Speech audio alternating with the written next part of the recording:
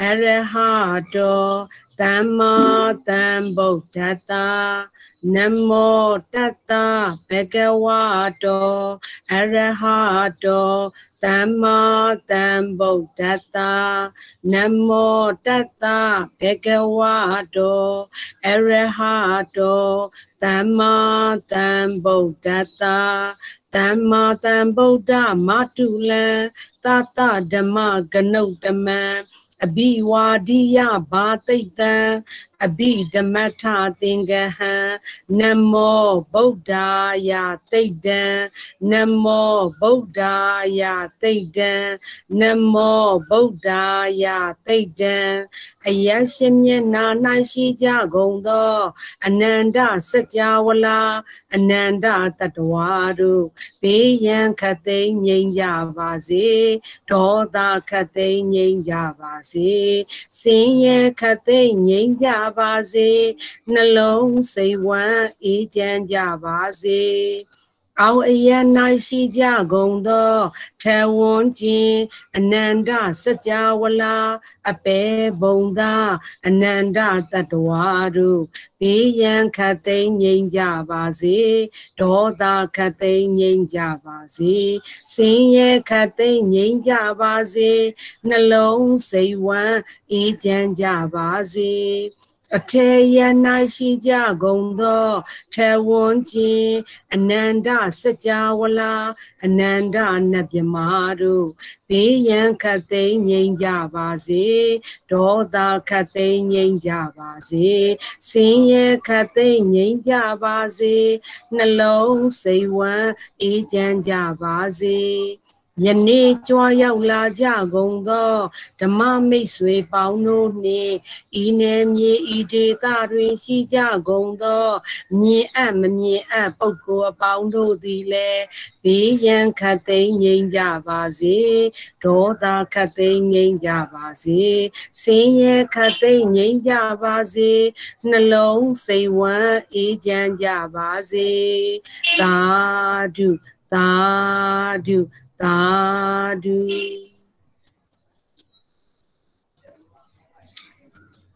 မမစ်စင်များအားလုံးမင်္ဂလာပါရှင်မမရှင်များအားလုံးစိတ်ချမ်းသာခြင်းကိုယ်ကျမ်းမာခြင်းနဲ့ပြည့်စုံပြီးတော့မင်္ဂလာချက်တည်းပေါင်းနဲ့ပြည့်စုံကြပါစေရှင် ဆရာမပေးလို့ဆိုတော့ဒီကရမလေးဆရာမလေးစိတ်ချမ်းသာစေကိုယ်ကျမ်းမာခြင်းနဲ့ပြည့်စုံပါစေမိတဲ့ဆုနဲ့ပြည့်ပြရစီရှင်မမေစင်များဟုတ်ကဲ့ကျမတို့ဒီဒီနေ့အဲအဘိဓမ္မာပထမဆင့်ပေါ့နော်တနင်္လာနေ့တိုင်းတနင်္လာနေ့တိုင်းအဘိဓမ္မာပထမဆင့်ကိုပူဇော်တယ်အဲပူဇော်တဲ့အခါမှာအဘိဓမ္မာပထမဆင့်မှာအပိုင်း၃ပိုင်းရှိတယ်လို့စတင်ပူဇော်ခဲ့တဲ့ကတဲ့ကကောမတိုင်ခင်မှာအဘိဓမ္မာမိတ်ဆက်မှာရောကျမတို့တွေပူဇော်ခဲ့ပြောခဲ့ပြီးပါတယ်အဘိဓမ္မာပထမဆင့်မှာအပိုင်း၃ပိုင်းရှိပါတယ်စိတ်ပိုင်းစေတသိက်ပိုင်းပကိန်းပိုင်းအဲစတင်ပြီးတော့ပူဇော်တင်းကြို၉ပိုင်းမှာဆိုလို့ရှိရင်လည်းစိတ်ပိုင်းဒီပထမဦးဆုံးဖြစ်ပါတယ်ဟုတ်ပြီနော်အဘိဓမ္မာမှာတင်းကြို၉ပိုင်းရှိပါတယ်ပထမဆင့်မှာအပိုင်း၃ပိုင်းဒုတိယဆင့်မှာအပိုင်း၃ပိုင်းတတိယဆင့်မှာအပိုင်း၃ပိုင်းစုစုပေါင်းအဘိဓမ္မာတင်းကြို၉ပိုင်းအဲ့ဒီအဘိဓမ္မာတင်းကြို၉ပိုင်းမှာပထမဦးဆုံးစတင်ရမှာဒီလဲစိတ်ပိုင်းမှာအဘိဓမ္မာပထမဆင့်မှာပထမဦးဆုံးစတင်ပြီးတော့သင်ယူလေ့လာရမှာလဲစိတ်ပိုင်းဖြစ်ပါတယ်ဓမ္မမိတ်ဆွေများဟုတ်ပြီနော်အဲ့ဒီစိတ်ပိုင်းကိုကျမတို့ပူဇော်လာတာဒီဒီနေ့ဆိုရင် 6ကျင်ရှိသွားပါပြီဟုတ်ပြီနော်မမေစင်များအဲမမေစတို့ကိုအဲ့ဒီမှာစိတ်ပိုင်းနဲ့ပတ်သက်လို့စိတ်ကအကျဉ်း89ပါအကျယ်က121ပါရှိတယ်လို့ကျမတို့တွေလေ့လာခဲ့ကြပြီးပါပြီသင်ယူခဲ့ကြပြီးပါပြီအဲ့ဒီထဲကအဲ့ထဲကနေမှကျမတို့ဒီစိတ်တွေကိုအမျိုးအမည်အပြင်ခွဲခြားထားတာကိုသင်တန်းစတိုင်းစတိုင်းအဲစတင်ပြီးတော့ ပူဇော်ကြပါတယ်အဲကျမတို့ရဲ့မှတ်စုစာအုပ်စိတ်ပိုင်းသင်ခန်းစာရဲ့စာမျက်နှာနှစ်တင်ထောက်ကူကပ်ပြားရှိတဲ့ဓမ္မမိတ်ဆွေများကလည်းတင်ထောက်ကူကပ်ပြားလေးကနေကြည့်လို့ရပါတယ်။ဟုတ်ပြီနော်။စာမျက်စိတ်ပိုင်းသင်ခန်းစာအဲစာမျက်နှာနှစ်ဖြစ်ပါတယ်ဓမ္မမိတ်ဆွေများ။ဟုတ်ပြီနော်။ဒါဒီကျမတို့သင်တန်းစာတိုင်းစာတိုင်းရုပ်ပိုင်းဆိုလဲရုပ်28ပါးကိုပူဇော်တယ်။အဲစိတ်ပိုင်းဆိုလို့ရှိရင်လည်းဒီစိတ်တွေကိုကျမတို့သင်တန်းစာတိုင်းစာတိုင်းပူဇော်ပါတယ်။ မမီဆွေတို့ပြောပူပါတယ်အမြဲတမ်းလည်းပြောပါတယ်အာကုံဆောင်မှာအာဂလူမမီဆွေများဒီစာလေးတွေဒီဒီလိုလေးတွေရွတ်ရင်းရွတ်ရင်းနဲ့ကျမတို့စာချက်ဆရာမလိုအောင် အမြဲတမ်းပုံမှန်ပူဇော်သွားရင်မှတ်မိသွားပါတယ်ဓမ္မမိတ်ဆွေများဟုတ်ပြီနော်ဒါဆိုလို့ရှိရင်ကျမတို့အဲတစ်ခေါက်စတင်ပြီးတော့ပထမဦးဆုံးစိတ်အချင်း89ပါအကျယ်120ပါမှာရှိတဲ့စိတ်အမြည်6မျိုးကိုစတင်ပြီးတော့ပူဇော်ပါမယ်ရှင်စိတ်အမြည်6မျိုးကအဲနံပါတ်1အာကုသိုလ်စိတ်12ပါ2အာဟိစိတ်18ပါ3ကာမတောပနာစိတ်24ပါ4ရူပဝဆရစိတ်15ပါ5အရူပဝဆရာစိတ်12ပါ6လောကုတ္တရာစိတ်အကျဉ်း8ပါအကျယ်40ပါဘောင်းစိတ်အကျဉ်း89ပါအကျဲ122ပါဆိုပြီးတော့ကျမတို့အဲ့ဒီ89 122ပါကိုပဲ အသေးစိတ်တပါးချင်းတပါးချင်းစကိုပူဇော်ရပါမယ်အဲ့လိုပူဇော်ခဲ့တဲ့အခါမှာပူဇော်ရမယ့်အထက်မှာကျမတို့ဒီဘုံအားဖြင့်ကာမဘုံရူပဘုံအရူပဘုံလို့ခွဲထားတယ်လောကနဲ့ပြောရင်လည်းအတူတူပဲရှင်ကာမလောကရူပလောကအရူပလောကအဲ့တော့ကျမတို့အခုပထမဦးဆုံးဘုံအားဖြင့်ကာမဘုံထဲမှာကာမဘုံသားများအများဆုံးဖြစ်သောစိတ်ကာမဝဆရစိတ်ကိုပူဇော်နေကြတာပေါ့နော်ကာမဝဆရစိတ်ဒီ9 54ပါးရှိပါတယ်ကာမဝဆရစိတ်54ပါးကိုလေ့လာဖို့အတွက်ကျမတို့ဒီစိတ်အမည်3မျိုးကာမဝဆရစိတ်54ပါးထဲမှာပါပါတယ်အဲ့ဒါကိုကျွန်မပူဇော်ပေးပါမယ်အာကုတုစိတ်12ပါးအာဟိစိတ်18ပါးကာမတောပနာစိတ်24ပါးဘောင်းကာမဝဆရစိတ်54ပါး အဲ့ဒီကာမဝဆရစိတ်54ပါးကိုအမိ3မျိုးကာမဝဆရစိတ်54ပါးထဲမှာပါတဲ့အမိ3မျိုးနဲ့ပေါ်ပြလို့ရတယ်လို့အမိ2မျိုးနဲ့လည်းပေါ်ပြလို့ရပါတယ်ရှင်အမိ2မျိုးနဲ့ဘယ်လိုပေါ်ပြမလဲဆိုရင်အာကုသိုလ်စိတ်12ပါးရဲ့အာဟိစိတ်18ပါးရဲ့ပေါင်းလိုက်တဲ့အခါမှာစိတ်ပေါင်း30ရပါတယ်အဲ့ဒီစိတ်ပေါင်း30ဒီအတောဘနာစိတ်ပါတောဘနာစိတ်ဆိုတာမတင့်တယ်တော့ မကောင်းတော့မလိမ္မာတော့ပေါ့နော်အတောပနာစိတ်ဆိုတော့ဟောတောပနာစိတ်ဆိုတာအမှားပြင်ပါမယ်ရှင်တောပနာစိတ်ဆိုတာတင့်တယ်ကောင်းမွန်တော့ပါဠိမှာအလေးထည့်လိုက်တယ်ညင်းတာဖြစ်တဲ့အတွက်ကြောင့်အတောပနာစိတ်ဆိုတာမတင့်တယ်မကောင်းမွန်တော့စိတ်ဖြစ်ပါတယ်အဲ့ဒီမတင့်တယ်မကောင်း မွန်သောစိတ်သည်စုစုပေါင်း30ပါရှိပါတယ်အဲ့ဒီ30ပါသည်အကုသိုလ်စိတ်12ပါနဲ့အာဟိတ်စိတ်18ပါကိုပေါင်းထားတာပါဒါကြောင့်မို့ကာမဝဆရစိတ်54ပါးထဲမှာကာမဝဆ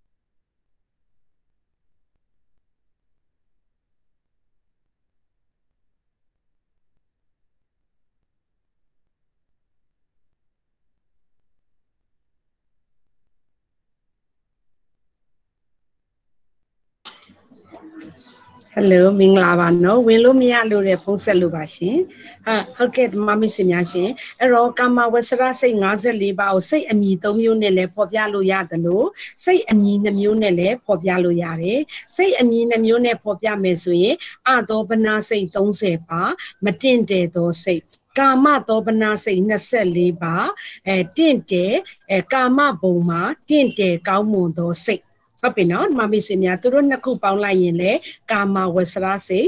54ပါအခုကျမတို့ဒီအဲကာမဝဆရာစိတ်54ပါကိုအဲပူဇော်နေကြတာဖြစ်ပါတယ်အဲ့ဒီထဲမှာမှာနံပါတ်1အကုသိုလ်စိတ်12ပါးပူဇော်ပြီးသွားပြီ အခုဘာကိုပူဇော်ပေးနေလဲဆိုရင်အာဟိတ်စိတ်18ပါးကိုပူဇော်ပေးနေတယ်အဲ့ဒီအာဟိတ်စိတ်18ပါးကိုပြီးခဲ့တဲ့အပတ်ကမှစတင်ပူဇော်တာဖြစ်တဲ့အတွက်ကြောင့်သင်္ကန်းစာဆက်ဆက်လို့ရအောင်အဲကျမတို့နောက်တစ်ခေါက်လောက်ပူဇော်ပေးပါဦးမယ်เนาะပြန်လည်ပြီးတော့အတူတူပူဇော်ကြပါမယ်စာမျက်နှာမဆုစာအုပ်ရဲ့စာမျက်နှာ73လေးကို73ကိုဖွင့်ပေးပါရှင်မဆုစာအုပ်ရဲ့စာမျက်နှာ73အဲ့ဒီမှာအာဟိတ်စိတ် ဆိုတာဘိုးအောက်ဆုံးမှာအာဟိတ်စိတ်18ပါလို့ပေးထားပါတယ်အာဟိတ်စိတ်18ပါဟိတ်ဆိုတာဟေတုဖြစ်ပါတယ်အကြအတိတ်ပဲသည်အကြောင်းတရားမူလအရင်အမြင်ခိုင်မြဲသောဟိတ်နှင့်ရှင်သောဟုတ်ပြီနော်ရေတောက်မြစ်ကဲ့သို့ခိုင်မြဲပါတယ်တဲ့ဒီဟိတ်ဆိုတာတဲ့ဒါပေမဲ့အခုကျမတို့ပူဇော်တဲ့အမြည်သည်စိတ်အမြည်သည်အာဟိတ်စိတ်ဟိတ်ကခိုင်မြဲတယ်ဆိုရင်အာဟိတ်စိတ်ဆိုရင် မခိုင်မြဲဘူးပေါ့အခုမခိုင်မြဲတဲ့စိတ်ပေါင်းဒီစုစုပေါင်း18ပါးရှိပါတယ်အဲအဲ့ဒါကိုဟိတ်နဲ့ပတ်သက်လို့တော့ကျွန်မမပူဇော်တော့ပြီးပြင်မယ်နဲ့အခု screen မှာ share ထားတယ်အဟိတ်စိတ်18ပါးကို၃မျိုးခွဲခြားနိုင်သည်လို့ရေးပေးထားတယ်တွေ့ပါသလားရှင်အကုတလဝိဘက်စိတ်က9ပါးအာဟိတ်ကုတလဝိဘက်စိတ်က8ပါးအာဟိတ်ကရိယာစိတ်က3ပါးစုစုပေါင်းလိုက်တော့ အာဟိတ်စိတ်18ပါးဆိုတာကိုသိခွင့်ရတယ်အဲ့ဒီအာဟိတ်စိတ်18ပါးကိုသိဖို့အတွက်အဲကျမတို့ဒီအဲဘာလို့ရမလဲဆိုတော့သူ့ရဲ့အဲတင်တင်ကေတကိုလည်းသိရမယ်တင်ကေတအတိတ်ပဲဖွင့်ဆိုချက်ကိုလည်းသိရမှာဖြစ်တဲ့အတွက်ကြောင့်စာမျက်နှာ14ကိုကြီးစုပြုပြီးတော့ဖွင့်ပေးပါရှင်အဲအခုက73နောက်စာမျက်နှာပေါ့နော်စာမျက်နှာ14စာမျက်နှာ14မှာ သင်္ကေတဖြင့်ရေးပြခြင်းကိုခဏလေးထားအောင်မယ်ရှင်သင်္ကေတအဓိပ္ပာယ်အတိတ်ပဲဖွင့်ဆိုချက်ဆိုတာလေးကိုကျမတို့အရင်ပူဇော်ပါမယ်အဲပြီးခဲ့တဲ့သင်ခန်းစာတုန်းကလည်းဒါကိုစတင်ပြီးတော့အဲပူဇော်ပေးပါတယ်ဘာဖြစ်လို့လဲဆိုတော့ဒီမှာပါတဲ့တရားတွေဒီကျမတို့ဒီသင်္ကေတကိုကြည့်ပြီးတော့စိတ်တွေကိုအတိတ်ပဲဖော်ရမှာဖြစ်တဲ့အတွက်ကြောင့်သင်္ကေတသိရင်စိတ်ကိုအဲလွယ်ကူစွာနဲ့ အတိတ်ပဲဖော်နိုင်တာဖြစ်လို့ပါဟုတ်ပြီเนาะအဲ့တော့အောက်မှာရေးထားတဲ့သင်္ကေတအတိတ်ပဲဖွင့်ဆိုချက်ဆက်တဲ့ဆက်သည်အတူကောက်ရေးထားတာပါအဆက်အတူကောက်သည်စက္ခုဝိညာဉ်မှာအတိတ်ပဲသည်ရူပါယုံကိုမြင်သိစိတ်မမဆွေများရှင်ဓမ္မမိဆွေတို့မှာစက္ခု द्वार လို့ပြောတဲ့မျက်စိရှိတယ် ကျမလို့ပြောတဲ့ရူပါယုံလို့ပြောတဲ့အစင်းကိုဘယ်ကမြင်လဲစက္ခုဒွါရကမြင်တယ်အဲ့ဒီစက္ခုအဲဓမ္မမင်းဆိုရရဲ့စက္ခုဒွါရကိုကျမဆိုတဲ့ရူပါယုံလို့ပြောတဲ့အစင်းကလာတိုက်တယ်လာတိုက်တဲ့အခါမှာဒွါရနဲ့အာယုံတိုက်တဲ့အခါမှာတိစိတ်လေးဖြစ်သွားတယ်။အော်ဆရာမပါလား။ဟုတ်တယ်နော်ဓမ္မမိတ်ဆွေများ။ကျမကိုမြင်ပြီးတော့တိတဲ့စိတ် အဲ့ဒါကိုစက္ခုဝိညာဉ်လို့ခေါ်တယ်။အတူကောက်ကိုဆက်နဲ့ပူဇော်ပေးထားတယ်။အတိတ်ပဲကရူပါယုံကိုမြင်သိစိတ်ရပြီနော်မမိတ်ဆွေများရှင်အဲ့ဒီလိုပဲဓမ္မမိတ်ဆွေတို့ရဲ့နာဓမ္မမိတ်ဆွေတို့ရဲ့နာဒီတောတာဒွာရကျမကအခုဓမ္မမိတ်ဆွေတို့ကိုပြောနေတဲ့အတန်အတန်ကတတ္တာယုံ မမစ္ဆရုရဲ့နားလို့ပြောတဲ့သောတာဒွါရဒွါရကို ကျမရဲ့အတန်လို့ပြောတဲ့တတ္တာယုံကလာတိုက်တယ်မမစ္ဆရုကြားလိုက်တယ်ကြားပြီးတော့တရားတန်ပါလားလို့သိလိုက်တယ်သိတဲ့စိတ်ဖြစ်သွားတယ်ဟုတ်ပြီနော်ဓမ္မမိတ်ဆွေများအဲ့ဒါဒီသောတာဝိညာဉ်အဲ့တော့ဓွာရနဲ့အာယုံဒီအကြောင်းပဋ္ဌာန်းတက်တဲ့ဓမ္မမိတ်ဆွေတို့သိပါတယ် သိသွားတဲ့စိတ်ဒီအကျိုးဟုတ်ပြီနော်ဒါကြောင့်မို့အကျိုးကိုဝိဘဲလို့ပြောတယ်ဝိပါကလို့ခေါ်ပါတယ်ဓမ္မမိတ်ဆွေများဟုတ်ပြီနော်ဒါဆိုရင်ဆက်ပူဇော်ပေးပါမယ်ဆက်တော်ဂါဂါဆိုတဲ့အတူကဂါဆိုတဲ့အတူကောက်ဒီဂာနဝိညာဉ်ကိုပြောတာပါမမိတ်ဆွေများရှင်မမိတ်ဆွေတို့မှာဂာနဒွါရလို့ပြောတဲ့နှာခေါင်းရှိတယ်ဂန္ဓာယုံလို့ပြောတဲ့အနံ့ ဒွါရနဲ့အာယုံနဲ့နှာခေါင်းနဲ့အနံ့တိုက်လိုက်တဲ့အခါမှာအနံ့တိစိတ်ဆိုတာဖြစ်တယ်စပယ်ပန်းနံလားနှင်းစီပန်းနံလားရေမွေးနံလားနော်ဟိုပေါ့နော်မြောင်းပုတ်နံလားထမင်းအိုတူတဲ့အနံ့လားအနံ့လို့ပြောရင်ကောင်းတာလဲယူတယ်မကောင်းတာလဲယူတယ်အာယုံမှန်သမျှကောင်းတာလဲရှိတယ်မကောင်းတာလဲရှိတယ် ဟုတ်ပြီနော်ဓမ္မမိတ်ဆွေများအဲ့ဒီအနံ့ကိုခွဲခြားပြီးတော့တည်တဲ့စိတ်ကိုဂာနဝိညာဉ်ဟုတ်ပြီနော်ဓမ္မမိတ်ဆွေများတတ္တဂန္ဓာယုံကိုနံတိစိတ်ကိုစရာဖြိုးရှင်အပေါ်နည်းနည်းလေးတိုးပေးလို့ရမလားရှင်ဟုတ်ပြီအဲပြီးရင်ဇီဇီဆိုတာဇိန်ဟွာဝိညာဉ်ဂရတာယုံကိုအယတာတိစိတ်အယတာမှာ6မျိုးရှိပါတယ်ချိုချင်းငံဆက်ဖန်ခါ ဟုတ်ပြီနော်အဲ့ဒီအယတာတစ်မျိုးစီကို ကျမတို့ဓမ္မမိတ်ဆွေတို့မှာရှိတဲ့ရှာရှာသည်ဇိန်ဟွာဒွါရရတာယုံသည်အယတာအာယုံဟုတ်ပြီနော်အဲ့ဒီရှာနဲ့ရတာယုံလို့ပြောတဲ့အယတာချိုချင်းငံဆက်ဖန်ခထိလိုက်တဲ့အခါမှာချိုရင်ချိုမှန်းသိတယ်ခါရင်ခါမှန်းသိတယ်ဟိုဟာဆက်ရင်ဆက်မှန်းသိတယ် သိတဲ့စိတ်ဒီဇိန်ဟွာဝိညာဉ်ရပြီနော်ဓမ္မမိတ်ဆွေများပြီးရင်ဓမ္မမိတ်ဆွေတို့များကာယကိုပေါ့နော်အဲ့ဒီကိုဒီနော်ထိလို့ရှိရင်ကိုကိုလာထိရင်သိတယ်အဲ့ဒါဒီဖွတ်ထပါယုံကိုထိသိစိတ်ကာယဝိညာဉ်နူးညံ့တဲ့အတွေ့အထိကိုသိတာလားကြမ်းတမ်းတဲ့အတွေ့အထိကိုသိတာလားမာရာကိုသိတာလားကြော့တာကိုသိတာလားကြမ်းတာချောတာကိုသိတာလားလေးတာပေါ်တာကိုသိတာလားဒါကိုသိတာလေဟုတ်ပြီလေးလေးတိုးလိုက်လို့ကျမတို့သိတာအားလုံးဒီထိလို့ကာယကိုလာထိလို့ကာယဓာရကိုเนาะဒါလာပြီးတော့ထိတဲ့ ဖတ်ထက်ပါယုံဆိုတဲ့အတွေ့အထိရလာထိလို့တည်သွားတာကိုကာယဝိညာဉ်အဲ့ဒါကို အတူကောက်ပြောရင်ဆက်သောဂါဇိကာရပြီနော်မမီစင်များအတူကောက်နောက်ဆိုအတူကောက်နေပဲပူဇော်ရမယ်ရှင်အဲပကိန်းပိုင်းနေရောက်မယ်အဲပကိန်းပိုင်းရောက်တယ်အဲ့ဒါဆိုလို့ရှိရင်ဝီထိပိုင်းရောက်တယ်ကျမတို့အတူကောက်တင်နေပဲပူဇော်ရမယ်ရှင်ဟုတ်ပြီနော်ဒါဆိုရင်ပြီးရင်နောက်ထပ်တစ်ခုတန်တန်ပတိဆိုင်အာယုံကိုလက်ခံသောစေ တန်နတန်တီရဏအာယုံကိုစုံစမ်းထောက်လန်းသောစိတ်ပြီးခဲ့တဲ့အအသင်္ကန်းစာတို့ကကျွန်မစာလုံးပေါင်းကအစပူဇော်ပေးပြီးပါပြီเนาะပြီးလို့ရှိရင်ပဆိုတာပင်စဒွါရာဝိဇံပင်စဆိုတာငါဒွါရဆိုတာတကားပေါက်ပင်စဒွါရဆိုတာတကားပေါက်၅ခုမျက်စိနားနှာခေါင်းရှာကိုကိုပြောတာရှင့်ဟုတ်ပြီเนาะပြီးရင်အဝဇံအဝဇံဆိုတာစင်ကျင်တာ ပင်စဒွါရဝဇန်းဆိုတာဘယ်ဒွါရမှာလဲဆိုတာကိုစင်ကျင်လိုက်တဲ့စိတ်ပြီးရင်မဆိုတာမနောဒွါရဝဇန်းမနောဒွါရဆိုတာစိတ်တကားပါ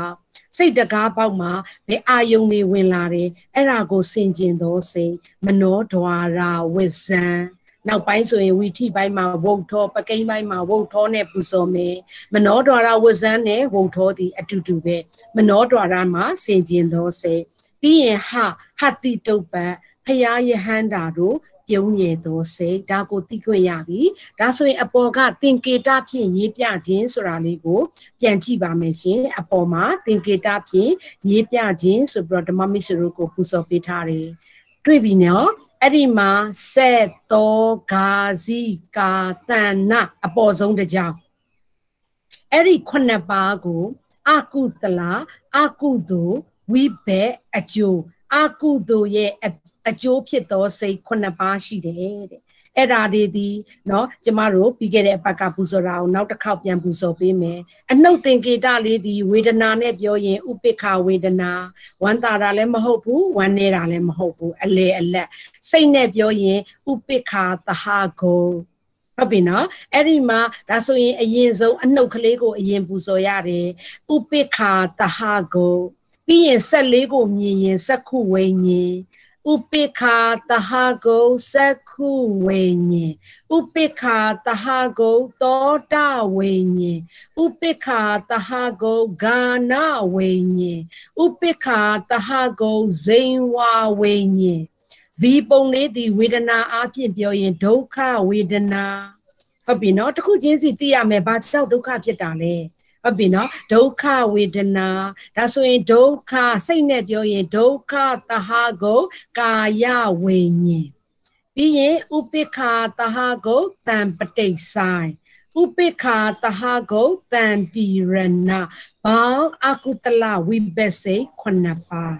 ပြီးရင်ဒုတိယတစ်ကြောင်းကိုပူဇော်ပေးမယ်ရှင်ဥပိ္ပခာတဟကိုသက္ခုဝိညာဉ်ဥပိ္ပခာတဟကိုသောတာဝိညာဉ် ဥပိ္ပခာတဟကိုဂာနဝိညာဉ်ဥပိ္ပခာတဟကိုဇိန်ဝဝိညာဉ်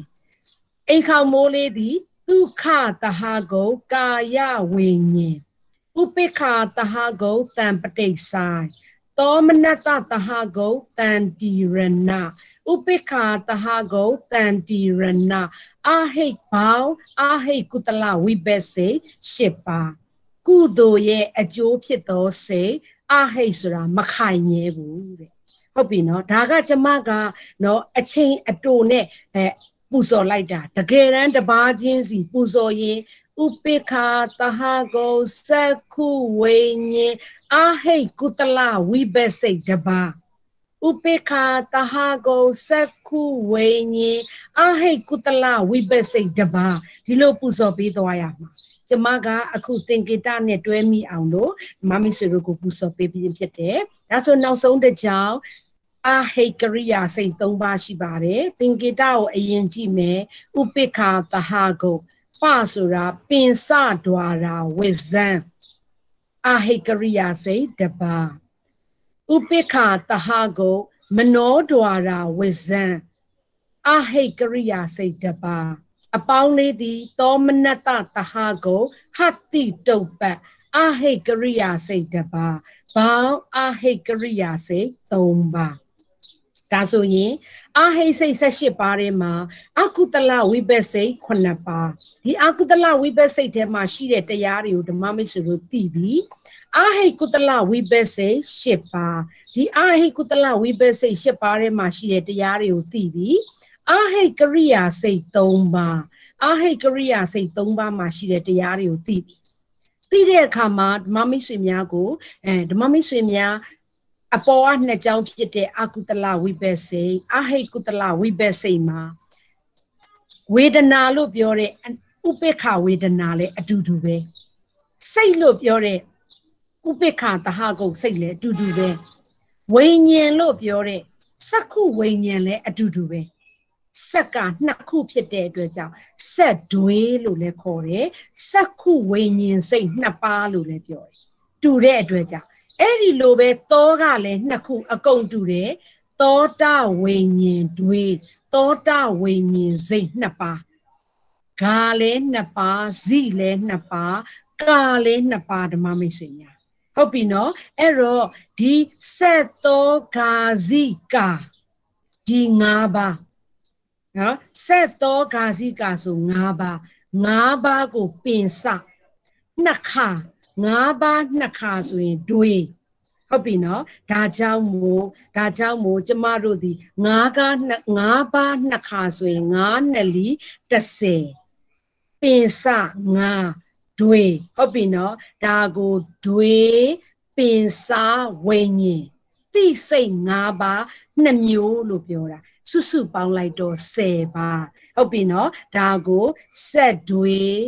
စကုဝိညာဉ်စိတ်နှစ်ပါးသောတွေသောတာဝိညာဉ်စိတ်နှစ်ပါးဂါတွေဂာနဝိညာဉ်စိတ်နှစ်ပါးဇိတွေဇိဝဝိညာဉ်စိတ်နှစ်ပါးကာတွေကာယဝိညာဉ်စိတ်နှစ်ပါးစုစုပေါင်း တွေပင်စဝိညာဉ်စိတ်10ပါးဆိုပြီးတော့အဲ့ဒီစာမျက်နှာ14ရဲ့ဟိုအောက်နားလေးမှာရေးပေးထားတယ်တွေ့ပါလားရှင်မမီဆွေများဟုတ်ပြီနော်မမီဆွေများသင်္ကေတ9ခု2ခါ10ခုသူ့ကိုဘယ်လိုခေါ်လဲတွေပြင်စဝိညာဉ်စိတ်10ပါးလို့ခေါ်တယ်ရပြီလားရှင် ရပြီเนาะရပြီဆိုရင်ဆက်ပြီးတော့ပူဇော်တော့ပါမယ်ဒီနေ့ဒီအခုဆက်ပူဇော်တဲ့တရားကိုကျမသင်တော့မှာပါဒီမမိတ်ဆွေများပလေးအောက်မှာတစ်လို့ရေးပေးထားတယ်အနှုတ်သင်္ကေတလေးတွေ့တယ်အနှုတ်သင်္ကေတသည်ဥပိ္ပခာတဟဂုတ်ပဆိုတာပင်စဒွာရာဝဇံပိစဒွါရဝဇန်းစိတ်ကတဘာပဲရှိတယ်တဲ့အဲ့ဒီလိုပဲဥပိ္ပခာတဟဂုတ် မနောဒွါရဝိဇံ မနောဒွါရဝိဇံလဲတပါးပဲရှိတယ်တဲ့တပါးနဲ့တပါးနဲ့ပေါင်းလိုက်တော့နှစ်ပါးအဲ့ဒီနှစ်ပါးသည်တဲ့ကျမတို့ပင်စဒွါရာဝိဇံလို့ခေါ်ခဲ့တယ်အာဝိဇံမယ်ဟုတ်ပြီနော်မနောငါးဒွါရမှာဆင်ကျင်သောစိတ်အာဝိဇံဆိုတာဆင်ကျင်တာပြီးရင်မနောဒွါရဝိဇံမနောဒွါရမှာဆင်ကျင်သောစိတ်အာဝိဇံမှာဆင်ကျင်တာ အဲ့တော့အာဝိဇံနှစ်မျိုးမဟုတ်ဘူးလားရှင်အဝဇန်နှစ်ပါးဒါကြောင့်မို့စင်ကျင်သောစိတ်နှစ်ပါးကိုအဝဇန်တွေလို့ခေါ်တယ်ရှင်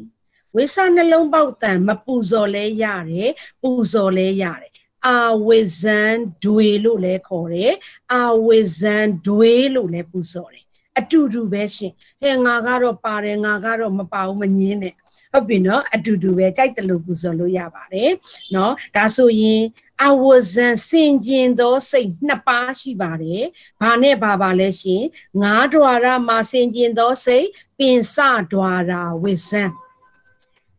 စိတ်တကားပေါက်လို့ပြောတဲ့မနောဒွါရမှာစင်ကျင်သောစိတ်မနောဒွါရဝိဇံအဝဇံစိတ်နှစ်ပါးဘာအဝဇံတွေရပြီနော်ဒီနှစ်ပါး ရပြီဆိုနောက်တစ်ခုတက်ပါမယ်ပင်စဒွါရဝဇံစိတ်တစ်ပါးပလေးအောက်မှာတစ်လေးပေးထားတယ်ပြီးရင်တမ်လို့ပေးထားတယ်တမ်ဆိုတာတမ်ပတိတ်ဆိုင်အာယုံကိုလက်ခံသောစိတ်အာယုံကိုလက်ခံသောစိတ်မှာမမိတ်ဆွေများရှင်အကုတလမှာလဲ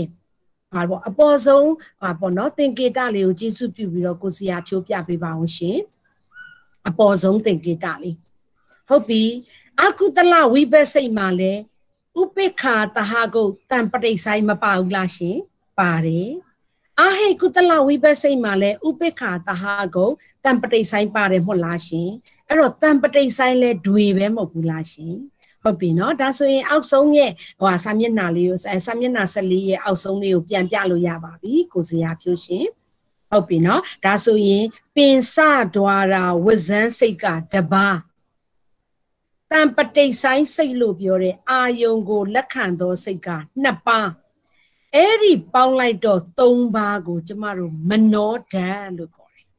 ပဋ္ဌာန်းမှာပူဇော်ခဲ့တဲ့တောက်လျှောက်မနောဓာတ်ပင်စဝိညာဏဓာတ်မနောဝိညာဏဓာတ်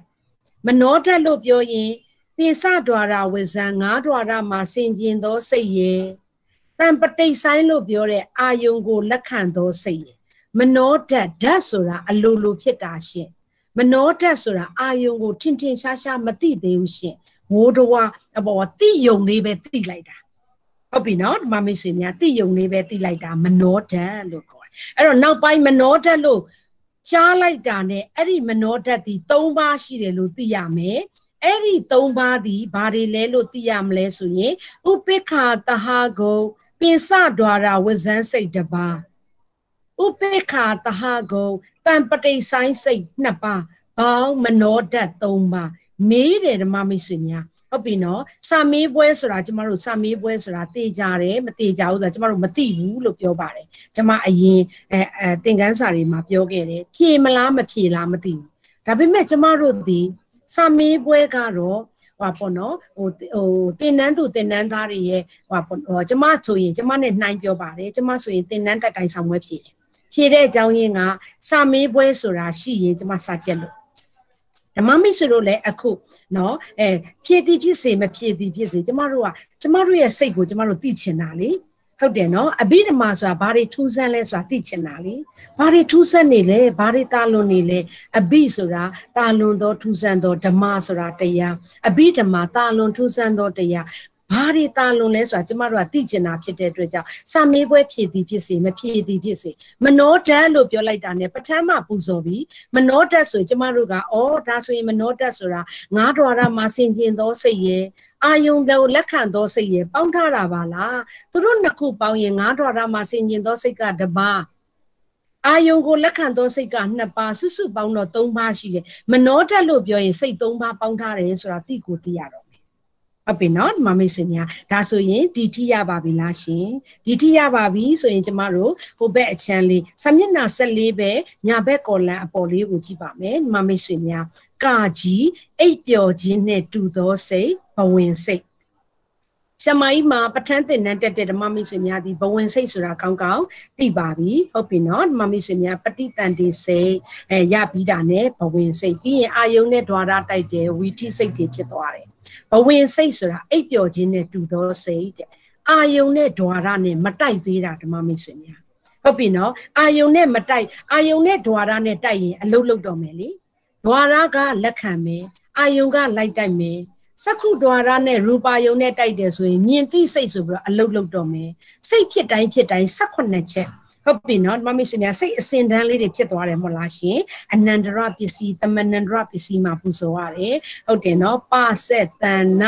အဲ့ဒီမှာတော့မနဲ့ပူဇော်တယ်ဝုဆိုလဲဝုထောအတူတူပဲပြီးရင်ဇောခုနှစ်ကြိမ်တရားယုံနှစ်ကြိမ်ဆိုအစင်တိုင်းဖြစ်သွားတယ်အလုတ်တွေသူ့အလုတ်တွေသူလှုပ်သွားတယ်ပကိန်းပိုင်းမှာတင်ရမယ်ဓမ္မမိတ်ဆွေများလှုပ်တဲ့အလုတ်တွေဟုတ်ပြီနော်ဒီစိတ်တွေဘလို့အလုပ်တွေလုပ်ကြလဲဘယ်နှခါလုပ်လဲတစ်ခါတည်းလုပ်တာလားနှစ်ခါလုပ်တာလား အဲ့ဒါသိရမယ်ဒီမှာမိတ်ဆွေများဒါသည်တာလွန်သောထူဆန်းသောတရားများပဲကျမတို့တွေကဒီတိုင်းပဲစိတ်ကလေးတစ်ခုကျမကိုမြင်လိုက်တာနဲ့ဆီယာမလို့သိတဲ့စိတ်ကချက်ချင်းဖြစ်သွားတယ်အဲ့ဒီချက်ချင်းဖြစ်သွားတဲ့အကြောင်းရင်းက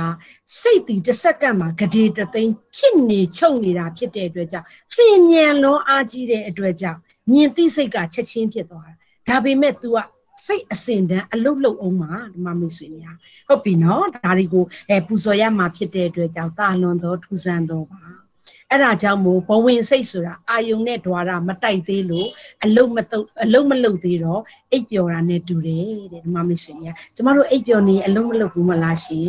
အဲ့ဒီလိုပဲနိုးလာပြီဆိုတာနဲ့ဘာလုပ်တော့လဲအလုတ်လောက်ကြတယ်မဟုတ်လားရှင်အဲ့ဒီလိုပဲတဲ့နိုးလာခြင်းနဲ့တူသောအာဝိဇန်စိတ်စင်ကျင်တော့ ဘာတွေလဲကိုအာကိုဒွါရတွေမှာလာတိုက်တဲ့အာယုံတွေကိုဘာဘာတွေလဲဘာတွေလဲဆိုတာဆင်ကျင်တော့မှာအဲ့ဒါကိုအဝိဇန်စိတ်လို့ခေါ်တယ်ရှင်ရပြီနော်မမစီများဒါဆိုရင်အာဟိတ်စိတ်18ပါးကိုခွဲခြားရအခက်ဆုံးကိုကျွန်မပူဇော်ပေးမယ်ိုစရာဖြိုးရှင်ရှင်းလင်းအဲရှင်းလင်းချက်မို့သင်္ကေတလေးကိုကျေးဇူးပြုပြီးတော့ပြန်ပြပေးပါเนาะအပေါ်ဆုံးကသင်္ကေတဓမ္မမိတ်ဆွေများဒီမှာတတိထားလိုက်ပါရှင် ကျမတို့အကုသိုလ်စိတ်ကပ်ပြားရှိရင်ကပ်ပြားလေးဘေးမှာချထားပြီးဟုတ်ပြီနော်ကပ်ပြားရှိရင်ကပ်ပြားလေးကိုဘေးမှာချထားအကုသိုလ်စိတ်12ပါးတော့မှလောဘမှုစိတ်10ပါးဒေါသမှုစိတ်2ပါးမောဟမှုစိတ်2ပါးကျမတို့လေ့လာခဲ့တယ်မဟုတ်လားရှင်လေ့လာတဲ့အခါမှာတန်ပယုတ်စိတ်ဝိပယုတ်စိတ်လို့မပူခဲ့မပူဇော်ခဲ့ဘူးလားတန်ပယုတ်စိတ်ဆိုဘယ်သင်္ကေတလေးကိုကြည့်ရလဲရှင်အဆက်ကလေးကိုကြည့်ရတယ်ဝိပယုတ်စိတ်ဆိုဘယ်သင်္ကေတလေးကိုကြည့်ရလဲရှင် အဆက်မပါတာကိုကြည့်ရတယ်အဲ့ဒီမှာရောကြတော့တာပဲအခုကျမပူဇော်ခဲ့တဲ့အဟိတ်စိတ်ဆက်ရှစ်ပါဘာအဆက်မှမတွေ့ဘူးတွေ့တယ်မလားရှင်အဲ့ဒါဝိပယုတ်မဟုတ်ဘူးဓမ္မမိတ်ဆွေများဝိပယုတ်စိတ်သည်တန်ပယုတ်စိတ်ရှိမှရှိတာရှင် အဆက်မပါတာနဲ့ဝိပယုတ်စိတ်လို့ပြောလို့မရဘူးဓမ္မမိတ်ဆွေများဒါကြောင့်မို့နော်ဓမ္မမိတ်ဆွေများအာဟိတ်စိတ်78ပါလုံးသည်အဆက်ပါခြင်းအဆက်မပါခြင်းကြည်စရာမလိုဘူးဒီမှာရောကြတာအခုသိပြီလားရှင်တန်ပယုတ်စိတ်ရှိမှဝိပယုတ်စိတ်ရှိတာအဆက်ရှိမှအဆက်မပါတာကိုရှားတာ တန်ပယုတ်စိတ်မရှိဘူးဆိုရင်ကျမတို့ဘာမှရှာစရာမလိုဘူးမလိုတဲ့အတွက်ကြောင့်တန်ပယုတ်ဝိပယုတ်စိတ်မရှိလို့ကျေးဇူးပြုပြီးတော့ဒီနေရာလေးအဟိတ်စိတ်ဆက်ရှစ်ပါလေးကိုအပေါ်နည်းနည်းလေးတင်ပေးပါရှင်ကိုစရာပြုဟုတ်ပြီဟုတ်လက်ပြီရပြီရှင်အဲအသင်္ကေတလေးလည်းပြချင်လို့ပါဟုတ်ပါပြီရှင်ကျေးဇူးပါနော်ဓမ္မမရှင်များနိုးလာခြင်းနဲ့တူသောစိတ်ရဲ့အောက်မှာအဟိတ်စိတ်ဆက်ရှစ်ပါရေးထားတယ်တွေ့လားရှင်ဒုတိယတစ်ကြောင်းလေးကိုကြည့်လိုက်ပါရှင် ယောဂဝိမုတ်စိတ်တဲ့ယောဂဆိုတာတံပယုတ်ဝိပယုတ်ကိုပြောတာပါတံပယောဂဝိပယောဂဒီသင်္ကေတလေးကိုကြည့်လိုက်မယ်ဆိုရင်အဆက်လေးလုံးဝမပါဘူးဟုတ်တယ်နော်အာဟိစိတ်ဆက်ရှိပါမှာဘာအဆက်မှမတွေ့ဘူးဟုတ်တယ်မို့လားရှင်အဆက်မရှိရင်တံပယုတ်မရှိဘူးတံပယုတ်မရှိရင်ဝိပယုတ်စဉ်းစားစရာမလိုဘူး ဒါကြောင့်မို့တဲ့အဆက်မပါဘူးတန်ပယုတ်ဝိပယုတ်မဟုတ်တဲ့အတွက်ကြောင့်အဲ့ဒီအာဟိတ်စိတ်၁၈ပါးလုံးကိုယောဂဝိမုတ်စိတ်လို့ရေးပါတယ်ယောဂဝိမုတ်စိတ်လို့လည်းခေါ်ပါတယ်ရှင်ဝင်းစားကွင်းပိတ်ထဲမှာပူဇော်ပေးထားတယ်တံပယုဝိပယုမဟုတ်သောစိတ်ကိုဖော်ပြပါဆိုရင်ယောဂဝိမုတ်စိတ်18ပါး အာဟိစိတ်18ပါးကိုပြောတာပါရှင်ဟုတ်ပြီနော်ဒါဆိုအပေါ်လေးသင်္ကေတလေးကိုပြန်ကြည့်ပါရှင်အကုသိုလ်စိတ်18ပါးတော့ကျမတို့ဒီအသင်္ခါရိကတသင်္ခါရိကနဲ့ပူဇော်ခဲ့တယ်မဟုတ်လားရှင်ဒီအာဟိစိတ်18ပါးမှာအတဆိုတဲ့သင်္ကေတတွေ့လားရှင်မတွေ့ဘူးမရှိတဲ့အတွက်ကြောင့်သင်္ခါရဝိမုတ်ဆိုတာလွတ်နေတာ အရိတတွေမပါတဲ့အတွက်ကြောင့်အသင်္ခါရိကတသင်္ခါရိကမဟုတ်သောစိတ်သင်္ခါရဝိမုတ်စိတ်ဒီလေအဟိတ်စိတ်၁၈ပါးပါပဲရမယ်နော်မမီစမြပြန်ပြန်ပူစော်ပေးမယ်ရှင်သင်္ကေတဖြင့်ရေးပြခြင်းမှာအဟိတ်စိတ်၁၈ပါးမှာအလည်းမပါဘူးတလည်းမပါဘူးဒါကြောင့်မို့အာတမပါလို့သင်္ခါရဝိမုတ်စိတ် သင်္ခါရဝိမုတ်စိတ်ကိုအာဟိစိတ်18ပါးလို့လည်းခေါ်တယ်အာဟိစိတ်18ပါးကိုသင်္ခါရဝိမုတ်စိတ်လို့လည်းခေါ်တယ်ပြီးရင်အဆက်ပါခြင်းအဆက်မပါခြင်းမရှိတဲ့အတွက်ကြောင့်ယောဂဝိမုတ်စိတ်ဟုတ်ပြီနော်ဒါဆိုရင်အာဟိစိတ်18ပါးလို့လည်းခေါ်တယ်အတမပါလို့သင်္ခါရဝိမုတ်စိတ်လို့လည်းခေါ်တယ် အဆက်ပါခြင်းမပါခြင်းမရှိတဲ့အတွက်ကြောင့်ယောဂဝိမုတ်စိတ်လို့လည်းခေါ်တယ်အရေးအတွက်နဲ့မေးမယ်ရှင်သင်္ခါရဝိမုတ်စိတ်လို့ပြောလဲ18ပါးယောဂဝိမုတ်စိတ်လို့ပြောလဲ18ပါးအာဟိတ်စိတ်လို့ပြောလဲ18ပါးကျေပွင့်လေးပြထားပါရှင်စာမေးပွဲမှာမေးပါတယ်မမီဆွေများကျမတို့လည်းအခုသိခွင့်ရပါတယ် အဲ့ဒီအာဟိစိတ်18ပါးဒီတိုက်တွန်းခြင်းမတိုက်တွန်းခြင်းနဲ့လည်းမဆိုင်ဘူးရှင်တန်ပယုတ်ရှင်နာနဲ့မရှင်နာနဲ့လည်းမဆိုင်ဘူးရှင်ဒါကြောင့်မို့မရှိဘူးလွတ်နေတာဝိမုတ်လို့ခေါ်တယ်ဟုတ်ပြီနော်ဒါကြောင့်မို့သင်္ခါရဝိမုတ်စိတ်လေးကို highlight လုပ်ထားပါရှင်ယောဂဝိမုတ်စိတ်လေးကိုလည်း highlight လုပ်ထားပါရှင်သင်္ခါရဝိမုတ်စိတ်ဒီအာဟိစိတ်18ပါပဲယောဂဝိမုတ်စိတ်ဒီ အာဟိစိတ်18ပါပဲရပြီနော်ကျယ်ပွင့်လေးလည်းပြထားပါ highlight လေးလည်းလုပ်ထားပြီရပြီနော်မမီစင်များဒါဆိုရင်ဒီတိရပြီဆိုရင်အပေါ်ကသင်္ကေတလေးကိုကျွန်မပြန်ရှင်းပြမယ်မမီစင်များရှင်ဆက်ချင်းလဲတူတယ်တောချင်းလဲတူတယ်ဂါချင်းစီချင်းကာချင်းလဲတူတယ်တန်ချင်းလဲတူတယ်နချင်းလဲတူတယ်ဒီတိုင်းတော့ထားပါအောင်စမရဲ့ဝေဒနာအဖြစ်လဲဝေဒနာလဲဆက်သောဂါစီတူတယ် နော်အဓိကသည်ဆက်တွေသောတွေဂါတွေစီတွေကာတွေအဲ့ဒီလိုလေဖြစ်ရတာနဲ့အပေါ်ကဆက်ကကြတော့အကုတလဝိဘေတဲ့အကုသိုလ်ရဲ့အကျိုးဖြစ်တယ်တဲ့အောက်မှာကြတော့အာဟိကုတလဝိဘေတဲ့အာဟိကုတလအဲဝိဘေနော်ကုသိုလ်ရဲ့အကျိုးမခိုင်မြဲတဲ့စိတ်ဖြစ်တယ်တဲ့ဆက်ချင်းလဲတူရဲ့သားနဲ့တောချင်းလဲတူရဲ့သားနဲ့ဘာကွာလို့လဲဆရာမရဲ့မေးဆရာရှိပါတယ် အဲ့ဒါကိုကျွန်မဓမ္မမိတ်ဆွေတို့ပူဇော်ပေးပါမယ်မမိတ်ဆွေများအဘိဓမ္မာမတင်ပေပဲလဲကြားဘူးတာရှိပါတယ်အနိဋ္ဌာယုံအိဋ္ဌာယုံဟုတ်ပြီနော်အနိဋ္ဌာယုံဆိုတာဓမ္မမိတ်ဆွေတို့သိပြီးသားမကောင်းသောအာယုံအိဋ္ဌာယုံဆိုတာကောင်းသောအာယုံဟုတ်ပြီနော်မမိတ်ဆွေများမမိတ်ဆွေမျိုးကိုဘာကြောင့်ဆက်ချင်းတူတာလဲဆိုတာကိုရှင်းပြမယ်ဆက်ဆိုတာစက္ခုဝိညာဉ် မြင်သိစိတ်ဟုတ်ပြီနော်စက္ခုဆိုတာအဲဆက်ဆိုတာစက္ခုဝိညာဉ်မြင်သိစိတ်မြင်နာခြင်းနှစ်ခုချင်းတူတာတောင်မှအကုသိုလ်ရဲ့အကျိုးကုသိုလ်အကျိုးမခိုင်မြဲတဲ့ကုသိုလ်အကျိုးနှစ်မျိုးကွဲနေတယ်။ဘာကြောင့်ကွဲလဲဆိုရင်ခုနကပြောတဲ့အနိဋ္ဌာယုံနဲ့အိဋ္ဌာယုံကွဲသွားလို့ဒါဆိုကျမရှင်းပြမယ်ရှင်မမိဆွေများရှင် ခွေးသေးကောင်ဘုတ်ကိုမြင်ဘူးတယ်မဟုတ်လားရှင်မမိဆွေများခွေးသေးကောင်ဘုတ်ကိုဓမ္မမိဆွေတို့ကျမတို့ကမြင်လိုက်ပြီကျမတို့အတွက်ကောင်းသောအာယုံလားမကောင်းသောအာယုံလားမကောင်းသောအာယုံကျမတို့အတွက်ကခွေးသေးကောင်ဘုတ်သည်အနိဋ္ဌာယုံ မကောင်းသောအာယုံကိုမြင်တဲ့အတွက်ကြောင့်ဟဲနန်လိုက်တာ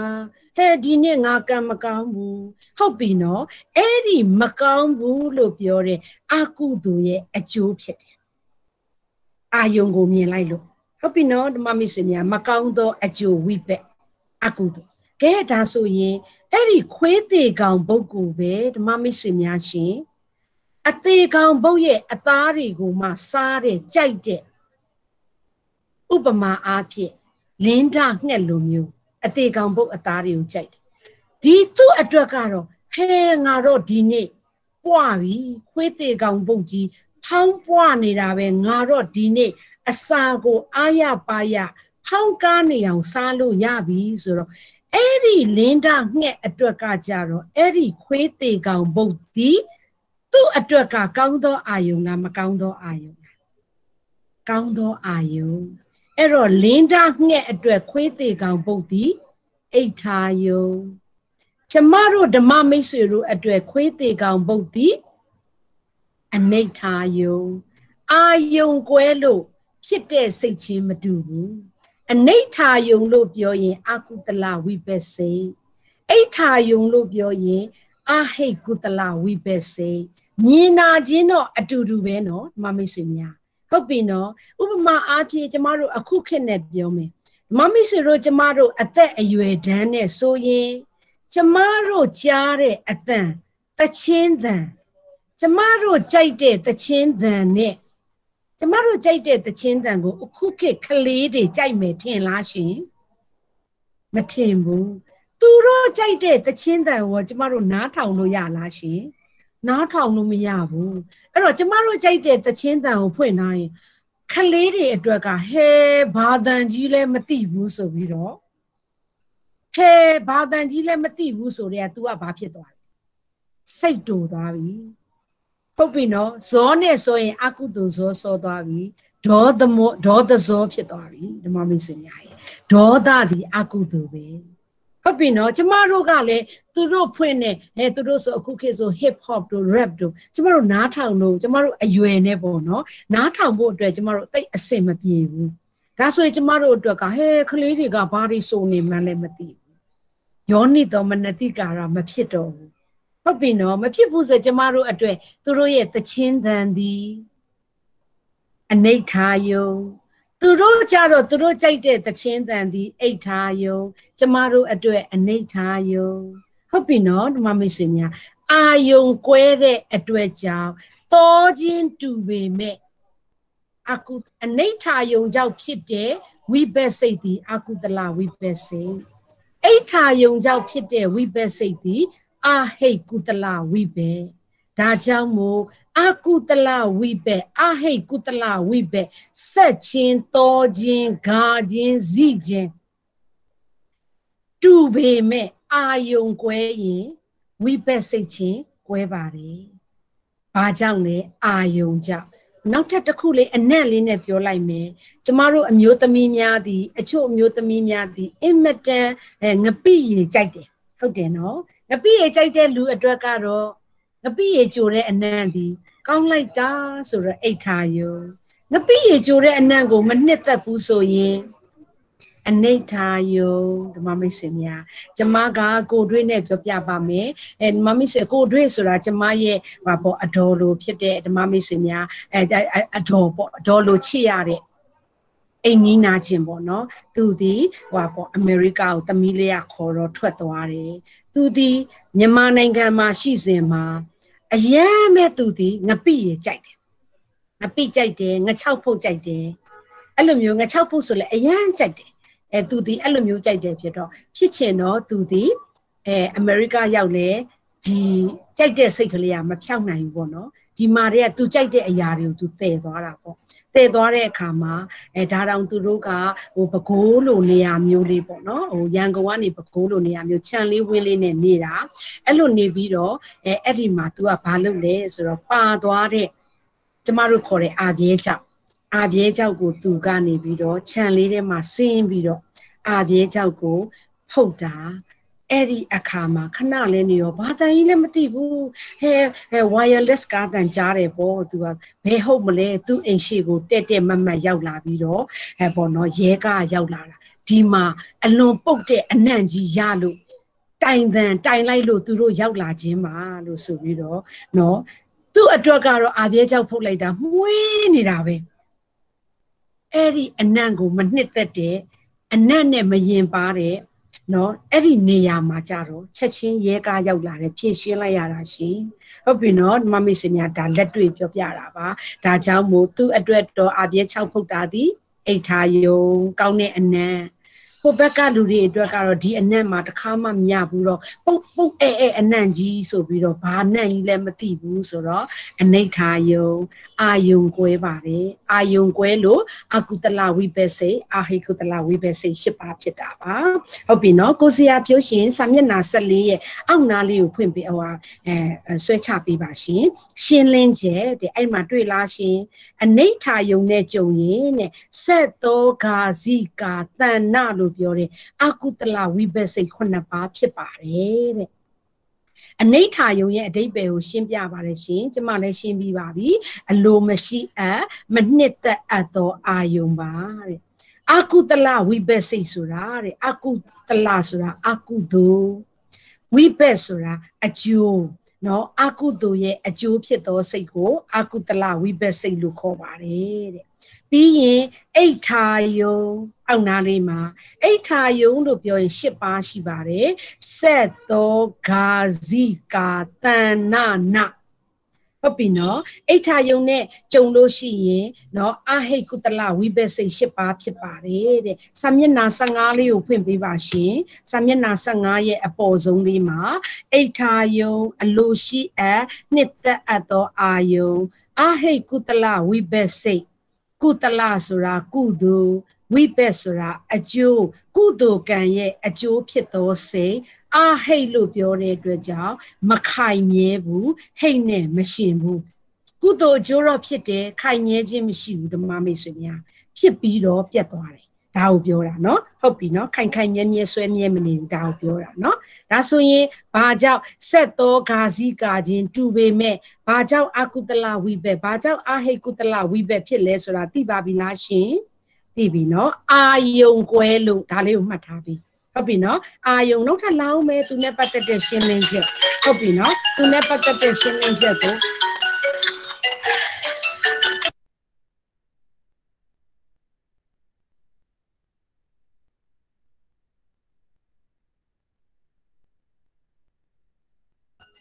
ဟုတ်ကဲ့ဟုတ်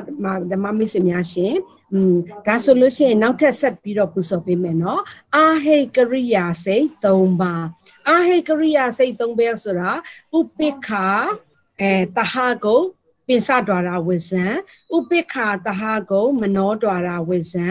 သောမနတတဟကုဟတ္တိတုပ္ပ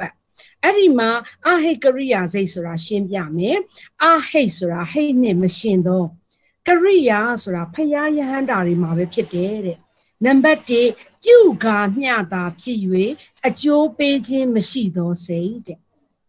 ဖြစ်တော့ဖြစ်သွားတယ်အကျိုးတော့မပေးဘူးတဲ့ဟုတ်ပြီနော်ကြောင်းကျိုးလွတ်စေတဲ့အကြောင်းလည်းမရှိဘူးအကျိုးလည်းမရှိဘူးတဲ့ပြီးရင်နံပါတ်3ဖယားယဟန္တာများမှာဖြစ်သောစိတ်တဲ့ နော်ဆက်ပြီးတော့အပေါ်လေးကိုဖွင့်ပေးပါရှင်ဒီမှာကိုစရာဖြူဟုတ်ပြီနော်ဒီမှာမိတ်ဆွေများဒါဆိုလို့ရှိရင်အာဟိကရိယာစိတ်ကိုလည်းသိပြီအာဟိကရိယာစိတ်ကိုသိပြီးတော့အောက်မှာဆက်ရှင်းပေးထားတယ်ပတစ်တယ်ပတစ်ဆိုတာပင်စဒွာရာဝဇန်းစိတ်တပါမတစ်တယ်မတစ်ဆိုတာမနောဒွာရာဝဇန်းစိတ်တပါပင်စဒွာရာဝဇန်းဆိုတာ ငါးဒွါရမှာစင်ကျင်သောစိတ်မနောဒွါရဝဇန်းဆိုတာစိတ်တကားပေါက်မနောဒွါရမှာစင်ကျင်သောစိတ်ဟုတ်ပြီနော်အဲ့ဒီပင်စဒွါရဝဇန်းစိတ်တပါးရဲ့မနောဒွါရဝဇန်းစိတ်တပါးရဲ့ဟာတဲ့ပုထုဇဉ်တိခာအတိခပုဂ္ဂိုလ်အလုံးတွင် ဖြစ်သည်တဲ့ဒီသုံးပါးကိုခွဲပြီးတော့ပူဇော်ပေးထားတာပြီးရင် အပေါင်းလေးကိုမြင်တော့သောမနတသဟာကိုဟလေးကိုမြင်တော့ဟတ္တိတုပ္ပသောမနတတဟကုဟတိတုပ္ပဆိုတာဖယားယဟန္တာတို့ပြုံးရသောစိတ်တဲ့ဘယ်ပုဂ္ဂိုလ်မှာပဲဖြစ်လဲဆိုရင်အတိခပုဂ္ဂိုလ်တွင်သာဖြစ်သည်တဲ့ဒါနဲ့ပတ်သက်လို့ရှင်းပြပေးမယ်ရှင်မမ္မိဆွေများစာမျက်နှာအဲမမ္မိဆွေတို့ရဲ့မှတ်စုစာအုပ်စာမျက်နှာ22ကိုဖွင့်ပါရှင် စာမျက်နှာ22 22ရဲ့ညာဘက်ကော်လန်စာမျက်နှာ22ရဲ့ညာဘက်ကော်လန်အောက်နားလေးမှာညာဘက်ကော်လန်အောက်နားလေးမှာ32ပုံတွင်တဲ့ပုံကို2မျိုးရှိသည်တဲ့ဟုတ်ပြီနော်စာမျက်နှာ22ညာဘက်ကော်လန်ရဲ့အောက်နားလေးမှာ32ပုံတွင်ပုံကို2မျိုးရှိသည်တဲ့ဓမ္မမိတ်ဆွေများ နံပါတ်1ကိုကျွန်မအရင်စပြောမယ်ပုထုဇဉ်ကိလေသာထုပြောသောပုဂ္ဂိုလ်တဲ့ဓမ္မမိတ်ဆွေတို့ကျမတို့ပေါ့ပုထုဇဉ်နေပုထုဇဉ်စစ်စစ်ကြီးတွေဟုတ်ပြီနော်ကိလေသာဆိုတာလောဘဒေါသမောဟကျမတို့စီမှာခွာချရခက်လောက်အောင်ယင်ပါနေပြီထူနေပြီအရေးထူနေပြီ ဟုတ်ပြီနော်အတ္တမတက်နေရဓမ္မမိတ်ဆွေများလောဘအတ္တမဒေါသအတ္တမမောဟအတ္တမတက်နေပါတယ်ဓမ္မမိတ်ဆွေများဟုတ်ပြီနော်ကျမတို့ဓမ္မမိတ်ဆွေတို့ကပြီးရင်ဆက်ကြည့်လိုက်မယ်သူ့အပေါ်တက်တော့သောတာပန်သောတာပန်ဆိုတာသောတာပတ္တိ message message ရပြီးရင်ခဏလေးအတွင်းမှာပဲဖို့စိတ်သောတာပတ္တိဖို့စိတ်သောတာပတ္တိ message သောတာပတ္တိဖို့စိတ်ရပြီဆိုသောတာပန်ပုဂ္ဂိုလ် ပြီးရင်ဆက်ပြီးတော့ဆက်လက်အားထုတ်တယ်စူးစမ်းတယ်တက္ကဒါဂာမိ message တက္ကဒါဂာမိဖို့စိတ်အတန်တွက်နဲ့ပတ်သက်လို့လောကုတ္တရာစိတ်ရအောင်ပူဇော်ရမယ်စိတ်မပူနဲ့နော်ဒီမှာမိတ်ဆွေများတက္ကဒါဂံလို့ခေါ်လဲရတယ်ကျွန်မစလုံးပေါင်းအတန်တွက်အတိုင်းပူဇော်ပေးတာပကဒါဂံဟုတ်ပြီနော်တက္ကဒါအဲတက္ကဒါဂာမိ message တက္ကဒါဂာမိဖို့စိတ် နှစ်ပါးရပြီဆိုရင် message တစ်ပါးဖို့စိတ်တစ်ပါးရရင်တက္ကဒါဂံတက္ကဒါဂံဆက်ပြီးတော့အားထုတ်မယ်ရှင်အနာဂါမိမက်ဆေ့အနာဂါမိဖိုစေအနာဂံမက်ဆေ့ရပြီဖိုစေရပြီဆိုရင်ပုဂ္ဂိုလ်ဖြစ်ပြီပုဂ္ဂိုလ်ဆိုတာသောတာပန်တဂဒါဂံအနာဂံနှစ်ပါးစုံမှပုဂ္ဂိုလ်လို့ခေါ်လို့ရတယ်ရှင်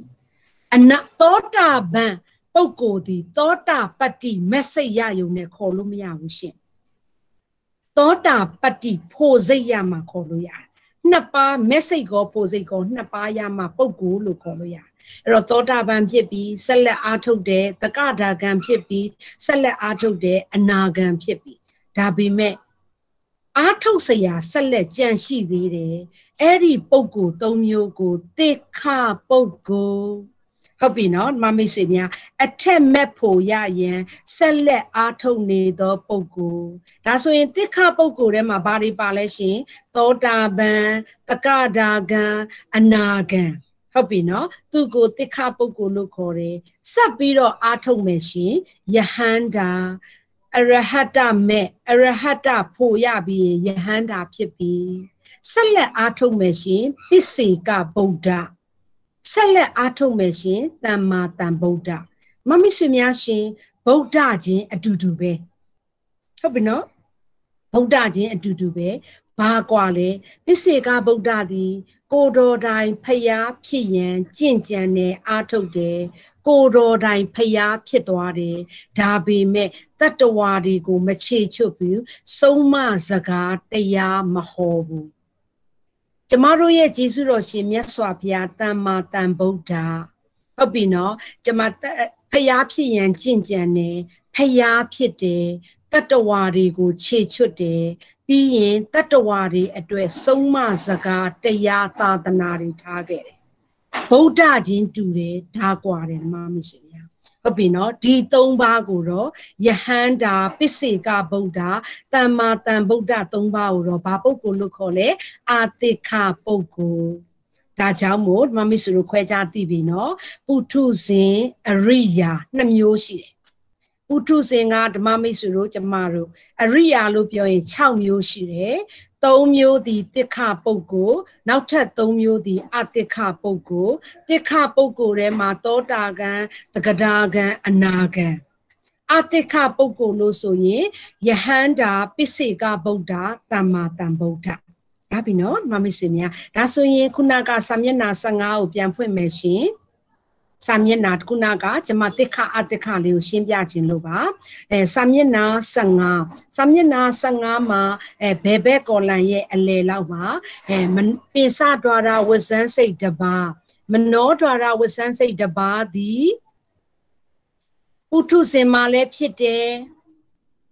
တိခပုဂ္ဂိုလ်လို့ပြောတဲ့သောတာပန်တဂရကံအနာဂံပုဂ္ဂိုလ်မှာလည်းဖြစ်တယ်အပေါ်လေးနည်းနည်းတင်ပြီးနော်ကိုစရာပြုပြီးရင်အတိခပုဂ္ဂိုလ်လို့ပြောတဲ့ယဟန္တာပိစေကဗုဒ္ဓတမ္မာတမ္ဗုဒ္ဓမှာလည်းဖြစ်တယ်သုံးမျိုးလုံးမှာဖြစ်တယ်ဟုတ်ပြီနော်ဟတ္တိတုပ္ပတ်တဲ့ဟတ္တိတုပ္ပတ်စိတ်ကတော့တဲ့ဘယ်မှာပဲဖြစ်လဲ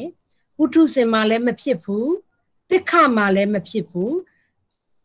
အတိခကြည်ရန်မလိုတော့ဘူး ဟုတ်ပြီနော်ဒီပုံကိုယ်တွေမှာပဲဖြစ်တယ်တဲ့ဒါဆိုကျမတိတ်အဲမေးခွန်းမေးချင်ပါတယ်ရှင်မမိတ်ဆွေများတယောက်လောက်မိုက်ခရိုဖုန်းလေးဖွင့်ပေးပါရှင်ဖြေနိုင်မဲ့ဖြေမဖြေနိုင်လဲကျမဖြေပေးမှာပါဖြေလဲအဲပြောပြီးပြီးအဘိဓမ္မာမှာဘာအမှားမှမရှိဘူးဟုတ်ပြီနော်ကျမတို့သိနေတာတော့မှအဘိဓမ္မာမှာမမှန်တာတွေအများကြီးပဲဟုတ်ပြီနော်တယောက်လောက်မိုက်ခရိုဖုန်းလေးဖွင့်ပေးပါ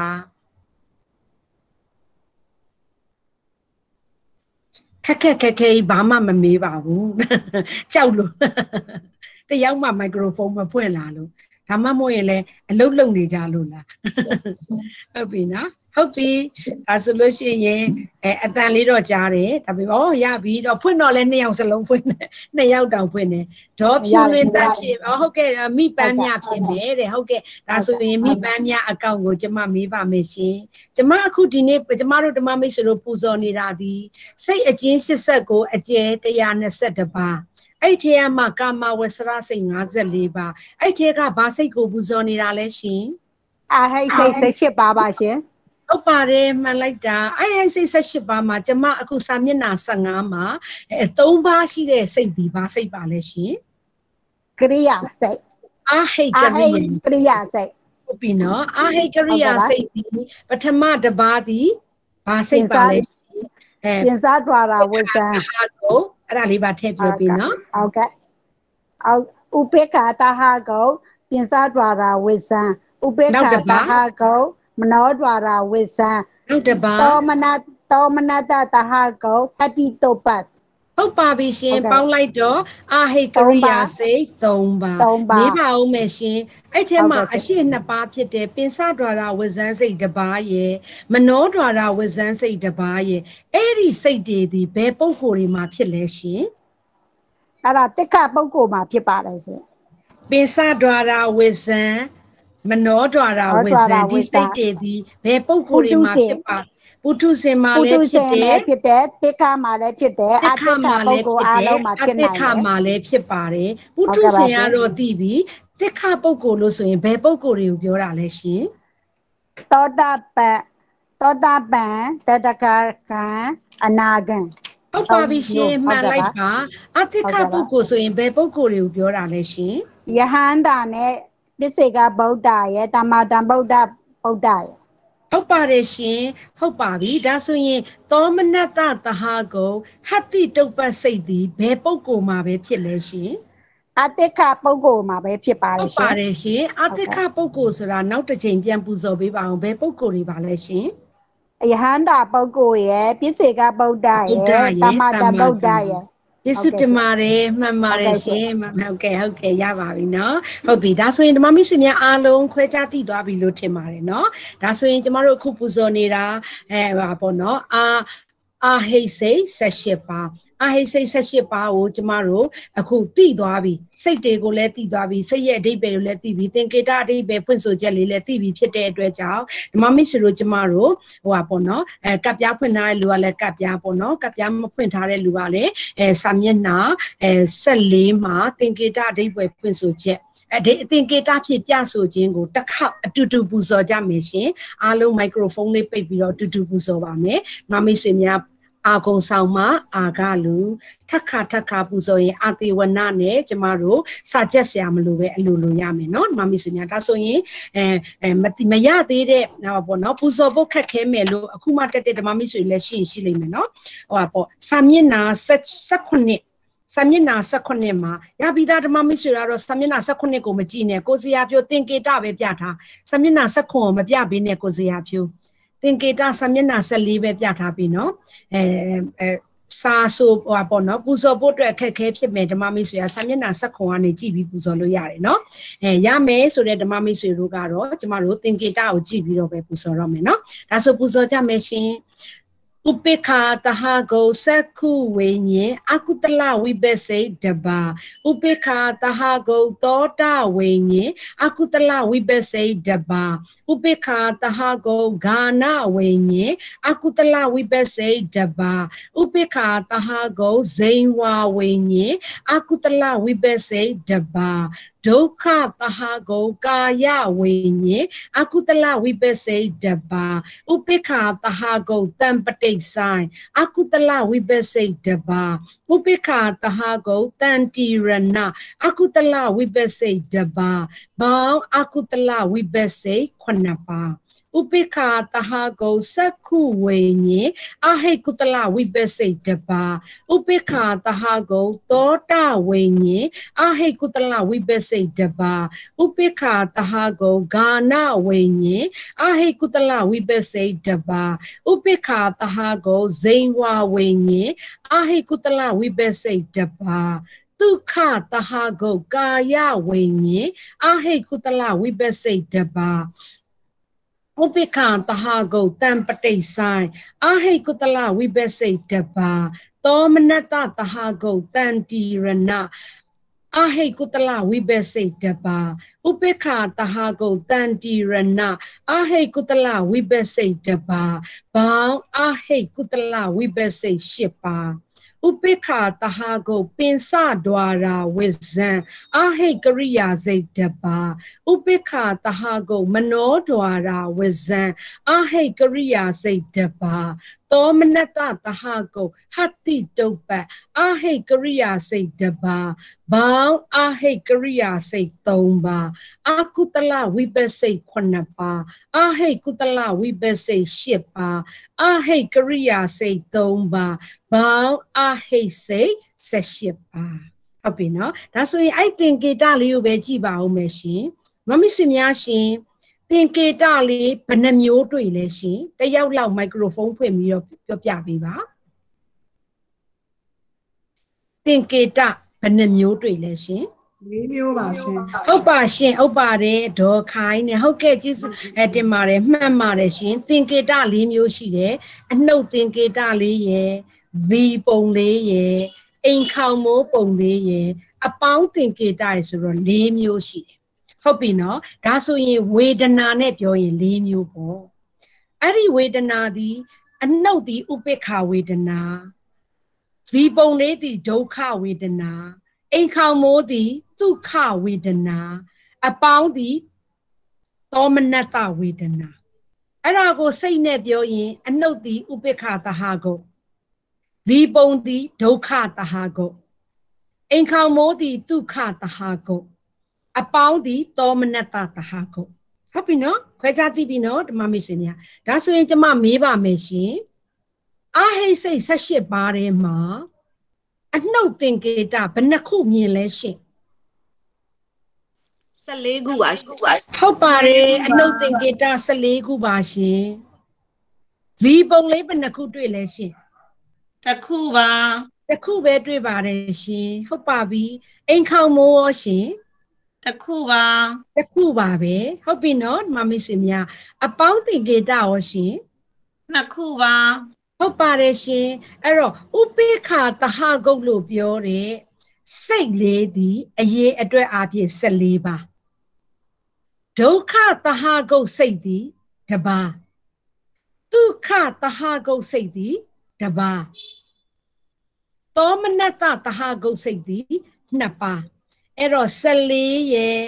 သူဒုက္ခရဲ့ပေါင်းတော့15ဒုက္ခရဲ့ပေါင်းတော့16သောမနတနဲ့ပေါင်းတော့18ဟုတ်ပြီနော်မမိတ်ဆွေများရှာတတ်ပြီနော်ဟုတ်ပြီနော်ဒါဓမ္မအခုဟိုဟာသင်္ကေတတွေပြလက်စာနဲ့ကျွန်မပြလိုက်တာဟုတ်ပြီနော်မမိတ်ဆွေများအာဟိစိတ်18ပါးကိုခွဲပြီးတော့ပြောမယ်ဆိုရင်ဝေဒနာအားဖြင့်ဥပိ္ပခဝေဒနာက14ပါးဒုက္ခဝေဒနာက1ပါး ဒုက္ခဝေဒနာကတပါသောမနတဝေဒနာကတပါစိတ်နဲ့ပြောရင်ဥပိ္ပခာတဟကုတ်စိတ်က14ပါးဒုက္ခတဟကုတ်စိတ်က1ပါးဒုက္ခတဟကုတ်စိတ်က1ပါးသောမနတတဟကုတ်စိတ်က2ပါးအသင်္ခါရိကစိတ်ဘယ်နှပါးရှိလဲရှင် တပါးမှမရှိပါဘူးအမရှိရင်တလည်းမရှိပါဘူးဟုတ်ပြီနော်တံပယုတ်စိတ်ဘယ်နှပါးရှိလဲရှင်မရှိပါဘူးတံပယုတ်စိတ်မရှိရင်အဆက်ပါခြင်းမရှိရင်အဆက်မပါတာလည်းမရှိပါဘူးဒါကြောင့်မို့အာဟိစိတ်၁၈ပါးကိုအသမပါလို့အသင်သင်္ခါရဝိမုတ်စေအသမပါလို့သင်္ခါရဝိမုတ်စေ၁၈ပါး တံပယုတ်ဝိပယုတ်အဆက်ပါခြင်းမပါခြင်းမရှိလို့သင်္ခါရမွေးဖို့စိတ်18ပါရမယ်နော်မမေစင်များဒါဆိုရင်ပြန်မင်းမယ်ရှင်အဲ့ဒီအဲအဟိစိတ်18ပါမှာဆက်တွေတော်တွေဂါတွေဇီတွေတန်ပဋိဆိုင်လဲ2ပါတန်တိရဏကကြတော့3ပါပိစဒွါရဝိဇံကတပါးတယ်မနောဒွါရဝိဇံကလည်းတပါးတယ် ဟတ္တိတုပ္ပကလည်းတပါးတယ်ရမလားရှင်ရပြီဆိုရင်ကျွန်မအရေးကြီးတဲ့အပိုင်းလေးကိုပူဇော်ပေးပါတော့မယ်စာမျက်နှာ15စာမျက်နှာ15ရဲ့ဘယ်ဘက်ကော်လန်ဟိုးအောက်ဆုံးလေးမှာမမီစရိုပဋ္ဌာန်းကိုပူဇော်ခဲ့တယ်ပုရိမာပုရိမာကုတလာဓမ္မပစ္စည်းမာနံပစ္စည်းမာနံကုတလာနံဓမ္မနံအများကြီးရှိတယ်ဥပနိတယတို့ ဟုတ်ပြီနော်ဒီမှာမိတ်ဆွေများအဲကျမတို့ဟောပုရိဇာတာဟုတ်တယ်နောက်ဥပနိတိယပစ္စည်းကိုပဲထင်ရှားအောင်ပြောမယ်ပုရိမာပုရိမာကုတလာဓမ္မပစ္စည်းမာနံပစ္စည်းမာနံကုတလာနံဓမ္မနံပုရိမာပုရိမာကုတလာဓမ္မပစ္စည်းမာနံပစ္စည်းမာနံအကုတလာနံဓမ္မနံပုရိမာပုရိမာကုတလာဓမ္မပစ္စည်းမာနံပစ္စည်းမာနံအပြာကတာနံဓမ္မနံဟုတ်တယ်နော်ဒီမှာမိတ်ဆွေများကုသိုလ်ကြောင့်ကုသိုလ်ဖြစ်တယ်ကုသိုလ်ကြောင့်အကုသိုလ်ဖြစ်တယ်ကုသိုလ်ကြောင့်အပြာကတာဖြစ်တယ်ဆမကြီးပူဇော်ပေးထားတယ်ဟုတ်တယ်နော်အဲ့ဒီမှာမမစ်ဆိုတော့ကျမတို့ပူဇော်ခဲ့တယ်အပြာကတာအပြာကတာဆိုပြီးတော့ပူဇော်တယ်အဲ့ဒီအပြာကတာစိတ်ဆိုတာတဲ့ကုသိုလ်လည်းမဟုတ်ပါဘူးတဲ့အကုသိုလ်လည်းမဟုတ်ပါဘူးတဲ့အဲ့ဒီစိတ်ကိုတဲ့အပြာကတာစိတ်လို့ခေါ်တယ်တဲ့အခုကျမတို့ဒီကာမဝဆရစိတ်54ပါးမှာနံပါတ်1အကုသိုလ်စိတ်ကိုပူဇော်ခဲ့တယ်ဟုတ်ပြီနော်အခုအာဟိတ်စိတ်ကိုပူဇော်နေတယ် ဟုတ်ပြီနော်ဓမ္မမိတ်ဆွေများအာဟိတ်စိတ်ကိုဓမ္မမိတ်ဆွေတို့မှားတတ်တယ်အာဟိတ်စိတ်မှာအကုတလလည်းပါတယ်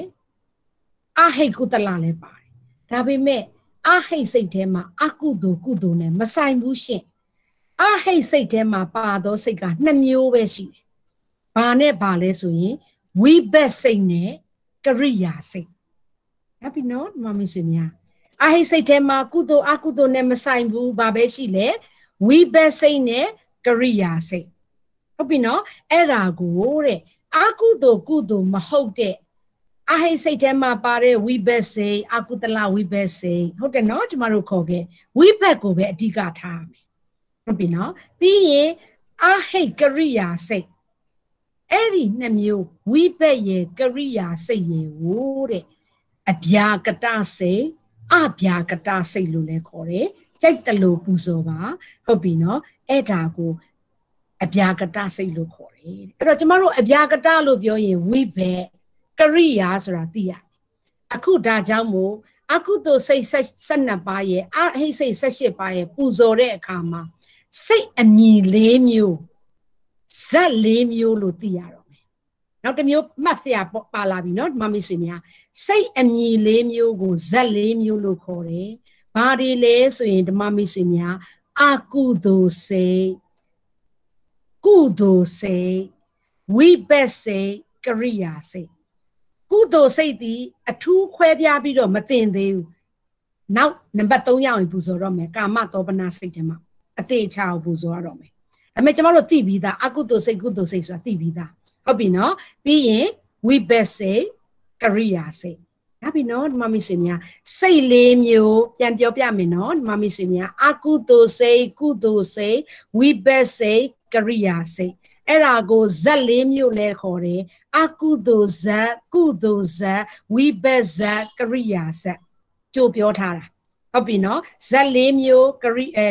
စိတ်လေးမျိုးသိပြီနော်ဇက်လေးမျိုးလို့ပြောရင်စိတ်လေးမျိုးပြောအဲ့ဒီထဲမှာမှာတဲ့အာကုသိုလ်ဆိုတာလေအကြောင်းပါတဲ့အာကုသိုလ် အကြောင်းကြောင့်ဒုက္ခတိဘုံအကျိုး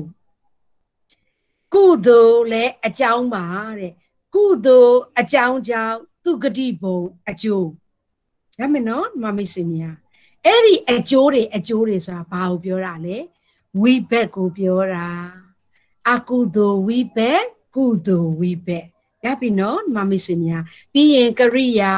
အကြောင်းလည်းမရှိဘူး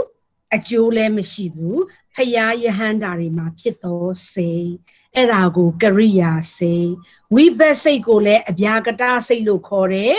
ကရိယာစိတ်ကိုလည်းအဗျာကတစိတ်လို့ခေါ်တာဖြစ်တဲ့အတွက်ကြောင့်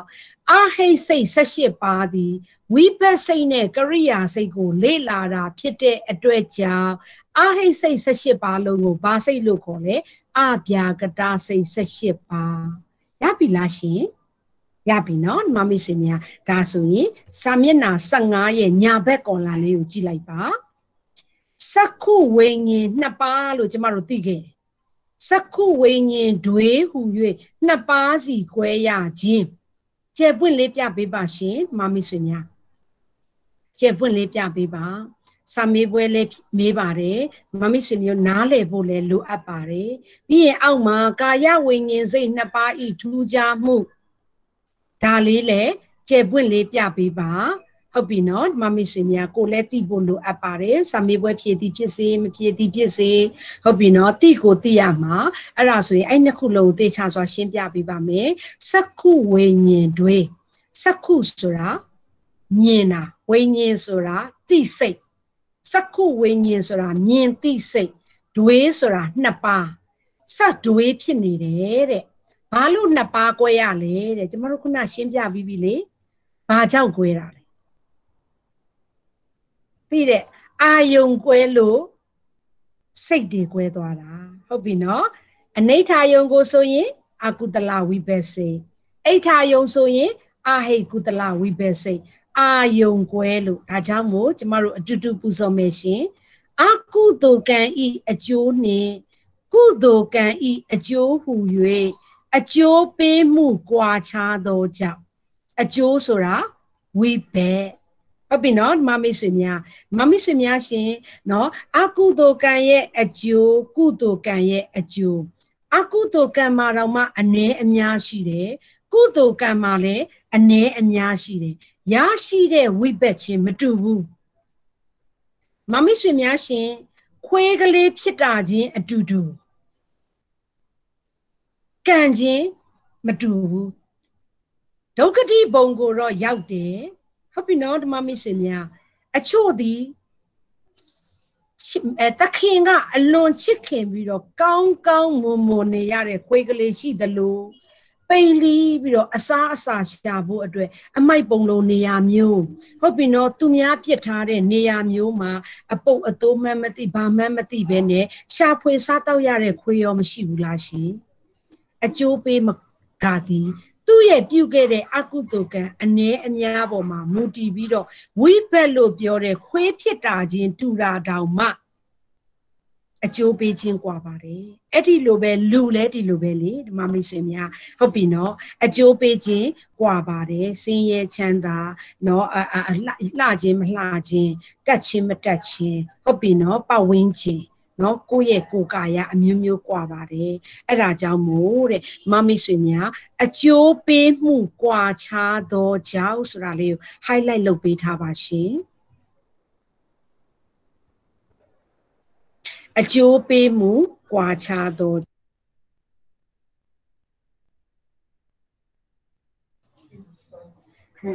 အကျိုးပေးမှုကွာခြားသောကြောင့်ဘာအကျိုးလဲအကုသကံရဲ့အကျိုး ကုသိုလ်ကံရဲ့အကျိုးထင်ထင်ရှားရှားပြောမယ်အကုသိုလ်ကံရဲ့အကျိုးဒုက္ခတိဘုံ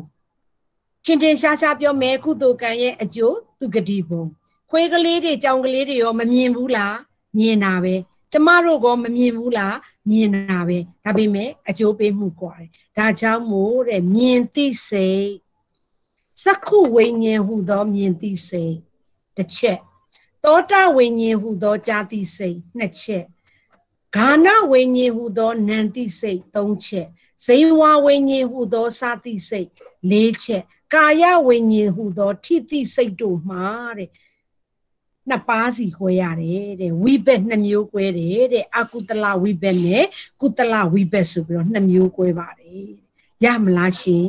နားလေရင်ဖြေမဲ့ဓမ္မမိတ်ဆွေများရအောင်ကြက်ထားပါတော့ ဟုတ်ပြီနော်မဖြေလဲသိကျင်တဲ့ဓမ္မမိတ်ဆွေများထက်ခါထက်ခါပူဇော်ထားပါနော်အဲပြုတဲ့အကျိုးပြုတဲ့ကုသိုလ်ကံအကုသိုလ်ကံအကျိုးပေါ်မှာမူတည်ပြီးတော့ဝိဘက်အကျိုးနှစ်မျိုး꿰သွားတယ်လို့ပြောတာရမယ်နော်မမီစင်များရပြီဆိုရင်နောက်တစ်ခုတက်ပါမယ်ကာကာယဝိညာဉ်စိတ်နှစ်ပါးဤထူးခြားမှု အပေါ်လေးနည်းနည်းအပေါ်နော်စာလေးမြင်အောင်ပြပေးပါကိုဆရာပြောရှင်ဟုတ်ပြီနော်မမီစင်များအဲ့ဒါလေအဲဒီလိုပဲကာယဝတ္ထုမနေ့ကပဋ္ဌာန်းတက်တဲ့ဓမ္မမိတ်ဆွေများသိပါတယ်ဝတ္ထုသည်ဘာနဲ့တူတူပဲလဲဓွာရနဲ့လည်းတူတယ်ပတာရနဲ့လည်းတူတယ်စက္ခုဝတ္ထုဆိုရင်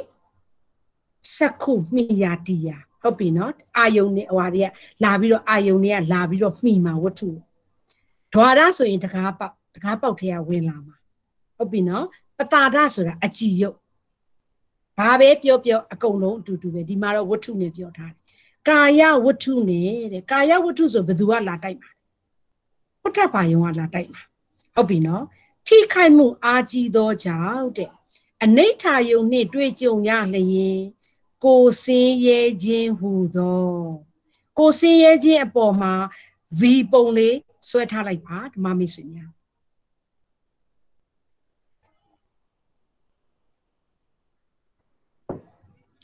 ပင်ကေတနဲ့ပြောရင် V ပုံလေးဖြစ်မယ်အာကုတလဝိဘေစိတ်နဲ့ပြောရင်ဒုက္ခတဟာကုကာယဝိညာဉ်စိတ်ဖြစ်မယ်အကုသလဝိဘက်စိတ်တပါကျမတို့ဆိုခဲ့တယ်ဟုတ်ပြီနော်ဒါဆိုတစ်ချက်ရပြီနော်အနိဋ္ဌာယုံနဲ့တွေ့ကြုံရရင်ကိုစင်းရဲခြင်းဆိုတဲ့ အကုသလဝိဘက်ပြီးရင်နောက်တစ်ချက်အဲ့တော့အိဋ္ဌာယုံနဲ့တွေ့လျင်ကိုချမ်းသာခြင်းဟူသောအဟိတ်ကုသလဝိဘက်ကိုချမ်းသာခြင်းနာမှာအိမ်ခေါမိုးလေးဆွဲပေးထားပါဒါဆိုရင်အနိဋ္ဌာယုံကို highlight လုပ်ပါရှင်အိဋ္ဌာယုံကို highlight လုပ်ပါရှင် inverted comma လေးနဲ့ပြထားတဲ့ဒုက္ခတဟာကုတ်ကာယဝิญဉ်စိတ်ကိုလည်းအယောင်မတူတာလေးနဲ့ဘာမှလုပ်ဆရာမရှိမြင်းလေးတားလိုက်เนาะအယောင်မတူအယောင်မတူတာမရှိလို့ရှိရင်မြင်းလေးတားလိုက်လို့ရတယ်ဟုတ်ပြီနော်ဒုက္ခတဟကိုကာယဝိညာဉ်စေပြီးရင်ဒုက္ခတဟကိုကာယဝိညာဉ်စေကျွန်မ highlight လုပ်ခိုင်းတာလေးဒီအနိဋ္ဌာယုံကို highlight လုပ်ခိုင်းတယ် အဲ့တော့အနိဋ္ဌာယုံကြောင့်ဒုက္ခတဟကိုကာယဝိညာဉ်စေ V ပုံလေးဆွဲခိုင်းတယ်ကိုစင်ရဲ့ခြင်းဟုတ်ပြီနော်အိဋ္ဌာယုံလေးကို highlight လုပ်ခိုင်းတယ်အိဋ္ဌာယုံကြောင့်ကိုချမ်းသာခြင်းအိမ်ခေါမိုးလေးကိုဆွဲခိုင်းတယ်ဒုက္ခတဟကိုကာယဝိညာဉ်စိတ်ဟုတ်ပြီနော်ကာယဝိညာဉ်စိတ်မှာမမိတ်ဆွေတို့ကြည့်ခဲ့တယ်အကုတလဝိဘက်စိတ်မှာက V ပုံလေးအဟိကုတလဝိဘက်စိတ်မှာကအိမ်ခေါမိုးပုံလေး ကာကာချင်းတော့တူတယ် V နဲ့အိမ်ခေါမိုးနဲ့꿰နေတယ်ဘာကြောင့်꿰တာလဲတဲ့ဘာကြောင့်ထူးခြားတာလဲဆိုတာနံပါတ်1เนาะအကုတလဝိဘက်ကာယဝိညာဉ်နှိတ်အာဟိကုတလဝိဘက်ကာယဝိညာဉ်ဟူ၍ဝိဘက်အမျိုးအစားအားဖြင့်၎င်း highlight လုပ်ပါရှင်ဝိဘက်အမျိုးအစား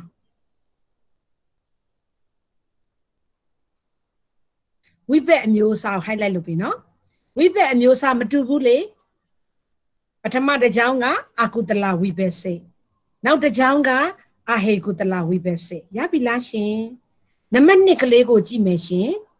ဒုက္ခတဟာကုတ်ကာယဝိညာဉ်နှင့်ဒုက္ခတဟာကုတ်ကာယဝိညာဉ်ဟူ၍ဝေဒနာအမျိုးအစားအပြင်၎င်းဒါဆိုရင် highlight လုပ်ပါရှင် ဝေဒနာအမျိုးအစားအပြင်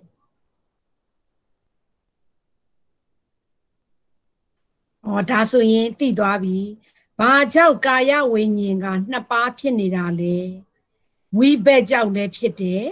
ဝေဒနာကြောင့်လည်းဖြစ်တယ်ဝိဘက်ကအာကုတလဝိဘက်စိတ်ဟုတ်ပြီနော်အာဟိကုတလဝိဘက်စိတ်ဝေဒနာကဒုက္ခဝေဒနာနဲ့ ဒုက္ခဝေဒနာမတူဘူးကာယဝိညာဉ်စိတ်ချင်းတော့တူတယ်ဝိဘက်မတူဘူးဝေဒနာမတူဘူးနားလည်လားရှင်ဟုတ်ပြီနော်ဒါကြောင့်မို့ဒီစာလေးတည်လဲအရေးကြီးပါတယ်စာမေးပွဲမှာအဲ့အတိုင်းဖြေရမယ်ရှင်မေးကိုလည်းဒီတိုင်းပဲမေးတယ်ရှင်ကာယဝိညာဉ်စိတ်နှစ်ပါးထူးခြားမှုဘယ်လိုရှိလဲလဲမေးဘူးတယ် ဟုတ်ပြီနော်ပြီးရင်မေကွန်ဟောင်းလေးကြည့်ရင်သိရမယ်နော်ဒီမမိတ်ဆွေများဒီနှစ်ပိုက်ကိုနားမလဲတဲ့လူရှိလားရှင်ထက်ရှင်းပြပေးဖို့လိုသေးလားဟုတ်ကဲ့မေးပါရှင်မေးပါရှင်တန်းမောဆိုရယ်ဟုတ်ကဲ့မိုက်ခရိုမိုက်ခရိုဖုန်းလေးဖွင့်လိုက်ပါရှင်ဆရာမထပ်ရှင်းပြပါဦးဟုတ်ကဲ့ပြန်ပြောမယ်ရှင်ကျမတို့သင်္ကေတလေးကိုကပ်ပြားလေးမှာကြည့်ထားလိုက်ဟုတ်ပြီနော်သင်္ကေတလေးကိုကပ်ပြားလေးမှာကြည့်လိုက် ကျမအခုဘာကိုရှင်းပါလဲကာယဝိညာဉ်စိတ်ကိုရှင်းပါဟုတ်ပြီနော်မမစ်စင်ညာအဲ့တော့ကာယဝိညာဉ်စိတ်မှာအပေါ်ဆုံးတစ်ကြောင်းဒီအကုတလဝိဘက်စိတ်အကုတလဝိဘက်စိတ်ရဲ့ကာနေရာလေးကိုကြည့်လိုက် V ပုံလေးမမြင်ရဘူးလားမြင်ရတယ်နော် V ပုံလေးကိုမြင်ရတာ B ဒီ V နဲ့ပြောရင်ဝေဒနာကဒုက္ခဝေဒနာဒုက္ခဝေဒနာဆိုတာကိုယ်ဆင်းရဲသောခံစားမှုဟုတ်ပြီနော်မမစ်စင်ညာ ကာယလို့အကြောင်းပြောတာဟုတ်ကာယအကြောင်းပြောတဲ့ကြောင့်ကိုယ်နဲ့ပဲပြောတာလေအဲ့ဒီမှာကိုစည်းရဲသွားတဲ့အတွက်ကြောင့်သူ့ရဲ့ဝိဘက်စိတ်ကအကုသလဝိဘက်စိတ်ဖြစ်သွားတာရပြီနော်မမေ့စင်များဟုတ်ပြီဒါဆိုရင်နောက်တစ်ချောင်းဒုတိယတစ်ချောင်းလေးကိုကြည့်လိုက်ရှင်အိမ်ခေါမိုးပုံလေးကိုတွေ့လားရှင်အိမ်ခေါမိုးဒီဝေဒနာအားဖြင့်ဒုက္ခဝေဒနာအတုခဝေဒနာအမှားပြင်မယ်နော်အိမ်ခေါမိုးဒီဒုက္ခဝေဒနာ ဒုက္ခဝေဒနာဖြစ်တဲ့အတွက်ကြောင့်ဖြစ်တဲ့ဝိဘက်စိတ်သည်အာဟိကုတလဝိဘက်စိတ်အဲ့တော့ဝိဘက်စိတ်ကာကာခြင်းတော့သင်္ကေတထဲမှာအတူတူပဲမဟုတ်ဘူးလားအပေါ်တစ်ချောင်းကလည်းကာပဲအောက်တစ်ချောင်းကလည်းကာပဲသင်္ကေတကာခြင်းတူပေမဲ့ဝေဒနာခြင်းတူလားမတူအပေါ်ကဝေဒနာကဒုက္ခဝေဒနာ အောက်ကအလေကဝေဒနာကဒုက္ခဝေဒနာဝေဒနာနှစ်ပါးကွဲတယ်ပေါ့ဒါထူးကြတာပေါ့ဟုတ်ပြီနော်ပြီးရင်သူ့ရဲ့စိတ်ကိုပြောမယ်ဒုက္ခဝေဒနာဖြစ်တဲ့အတွက်ကြောင့်ဖြစ်လာတဲ့စိတ်သည်အကုသလဝိဘက်စိတ်ဟုတ်ပြီနော်မမစ်စမြအခုဒုက္ခဝေဒနာကြောင့်ဖြစ်တဲ့စိတ်သည်အဟိကုသလဝိဘက်စိတ်ဝိဘက်စိတ်ချင်းကမကွဲသွားဘူးလားရှင်ဒါကြောင့်မို့ဝိဘက်ချင်း ဝေဒနာချင်းကွဲပါတယ်တဲ့အရှိကဆက်ကလေးတွေကိုကြည့်လိုက်ဆက်ကကြတော့ဝေဒနာကအနှုတ်အနှုတ်ချင်းပဲဘာမှမကွဲဘူးတောလဲအနှုတ်အနှုတ်ချင်းပဲ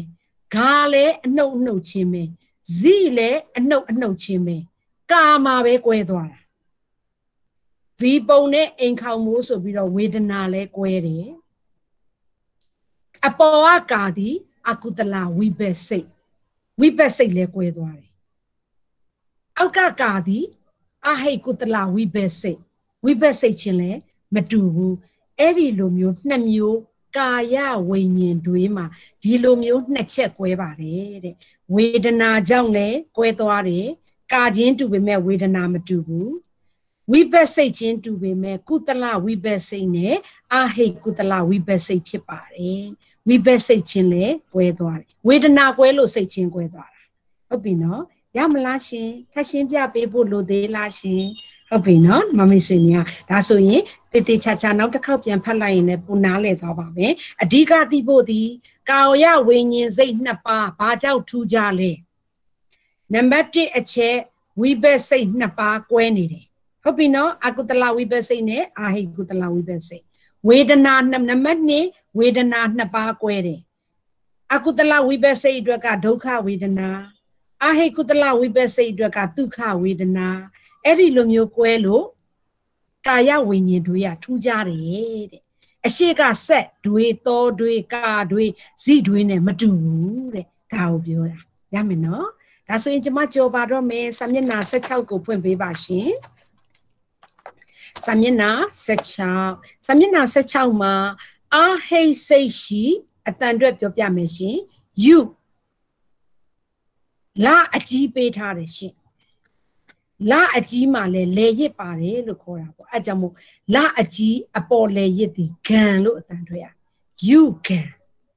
ပြီးရင်လအကြီးဆိုတာလအသေးလေးနှစ်ခုဆက်ထားတဲ့သဘောပဲလယူဂံပြီးရင်သူ့အတန်အတွက်တိုင်းကြံမယ်လယူဂံလရမယ်နော် အာဟိစိတ်ရှိယူဂံလအတွဲစိတ်ရှစ်တွဲတဲ့အတွဲဆိုရင်ဘယ်နှခုရှိရနှစ်ခု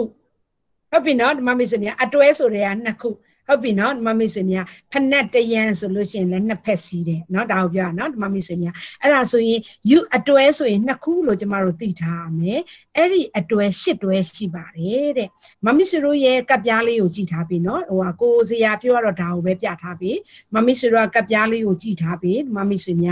အော်လေကပ်ပြားလေးထဲမှာအာဟိစိတ်ဆက်ရှစ်ပါကိုကြည့်ပေးမယ်ဆက်နှစ်ခုမရှိဘူးလားသောနှစ်ခုဂါနှစ်ခုဇိနှစ်ခု ဟုတ်တယ်နော်မမစ်စင်များတတိထားမိလားရှင်ပြီးရင်တန်နှစ်ခုတွေ့လားရှင်ဒါကြောင့်မို့တဲ့နံပါတ်1ဆက်နှစ်ခုမို့လို့စက္ခုဝိညာဉ်တွေသောနှစ်ခုမို့လို့သောတာဝိညာဉ်တွေဂါနှစ်ခုဂါနဝိညာဉ်တွေဇိနှစ်ခုဇိန်ဝဝိညာဉ်တွေကာနှစ်ခုကာယဝိညာဉ်တွေတန်နှစ်ခုတန်ပဋိဆိုင်တွေဒီအထိ6ခုရပြီ ရမလားရှင်ဒီမမိတ်ဆွေများဆက်တွေတော်တွေဂါတွေဇိတွေကာတွေတန်တွေတည့်ရဲ့ရှေ့မှာဆက်လို့ရေးလိုက်ပါနှစ်ဓမ္မမွေလဲဟိုပေါ့နော်မရေးချင်လဲအရှိဆုံးစာလုံးလေးတွေရေးလိုက်ရင်တော့ပုံမှတ်မိတာပေါ့ဆက်တစ်မှာဆက်နှစ်မှာတော့သုံးမှာဂါလေးမှာဇိငါးမှာကာ၆မှာတန် အဲ့တော့ဘက်ထရီအရင်ရုံနေအောင်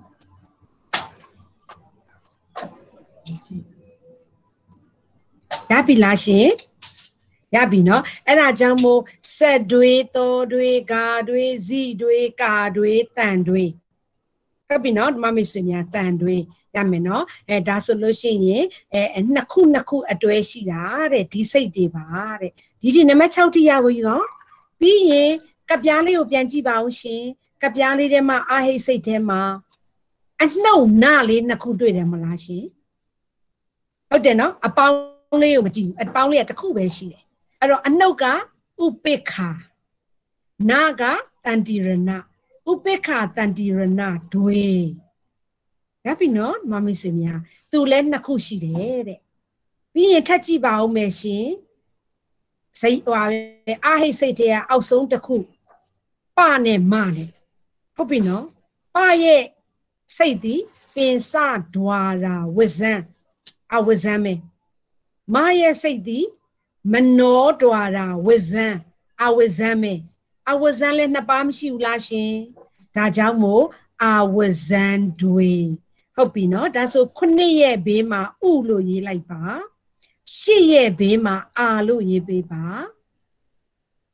အဲ့တော့အတူကောက်ပြောမယ်ဆိုရင်အာဟိစိတ်ရှိယူကံလအတွဲစိတ်ရှစ်တွဲကို အတူပြောရင်ဆက်တောကာဇီကာတန်ဥအာ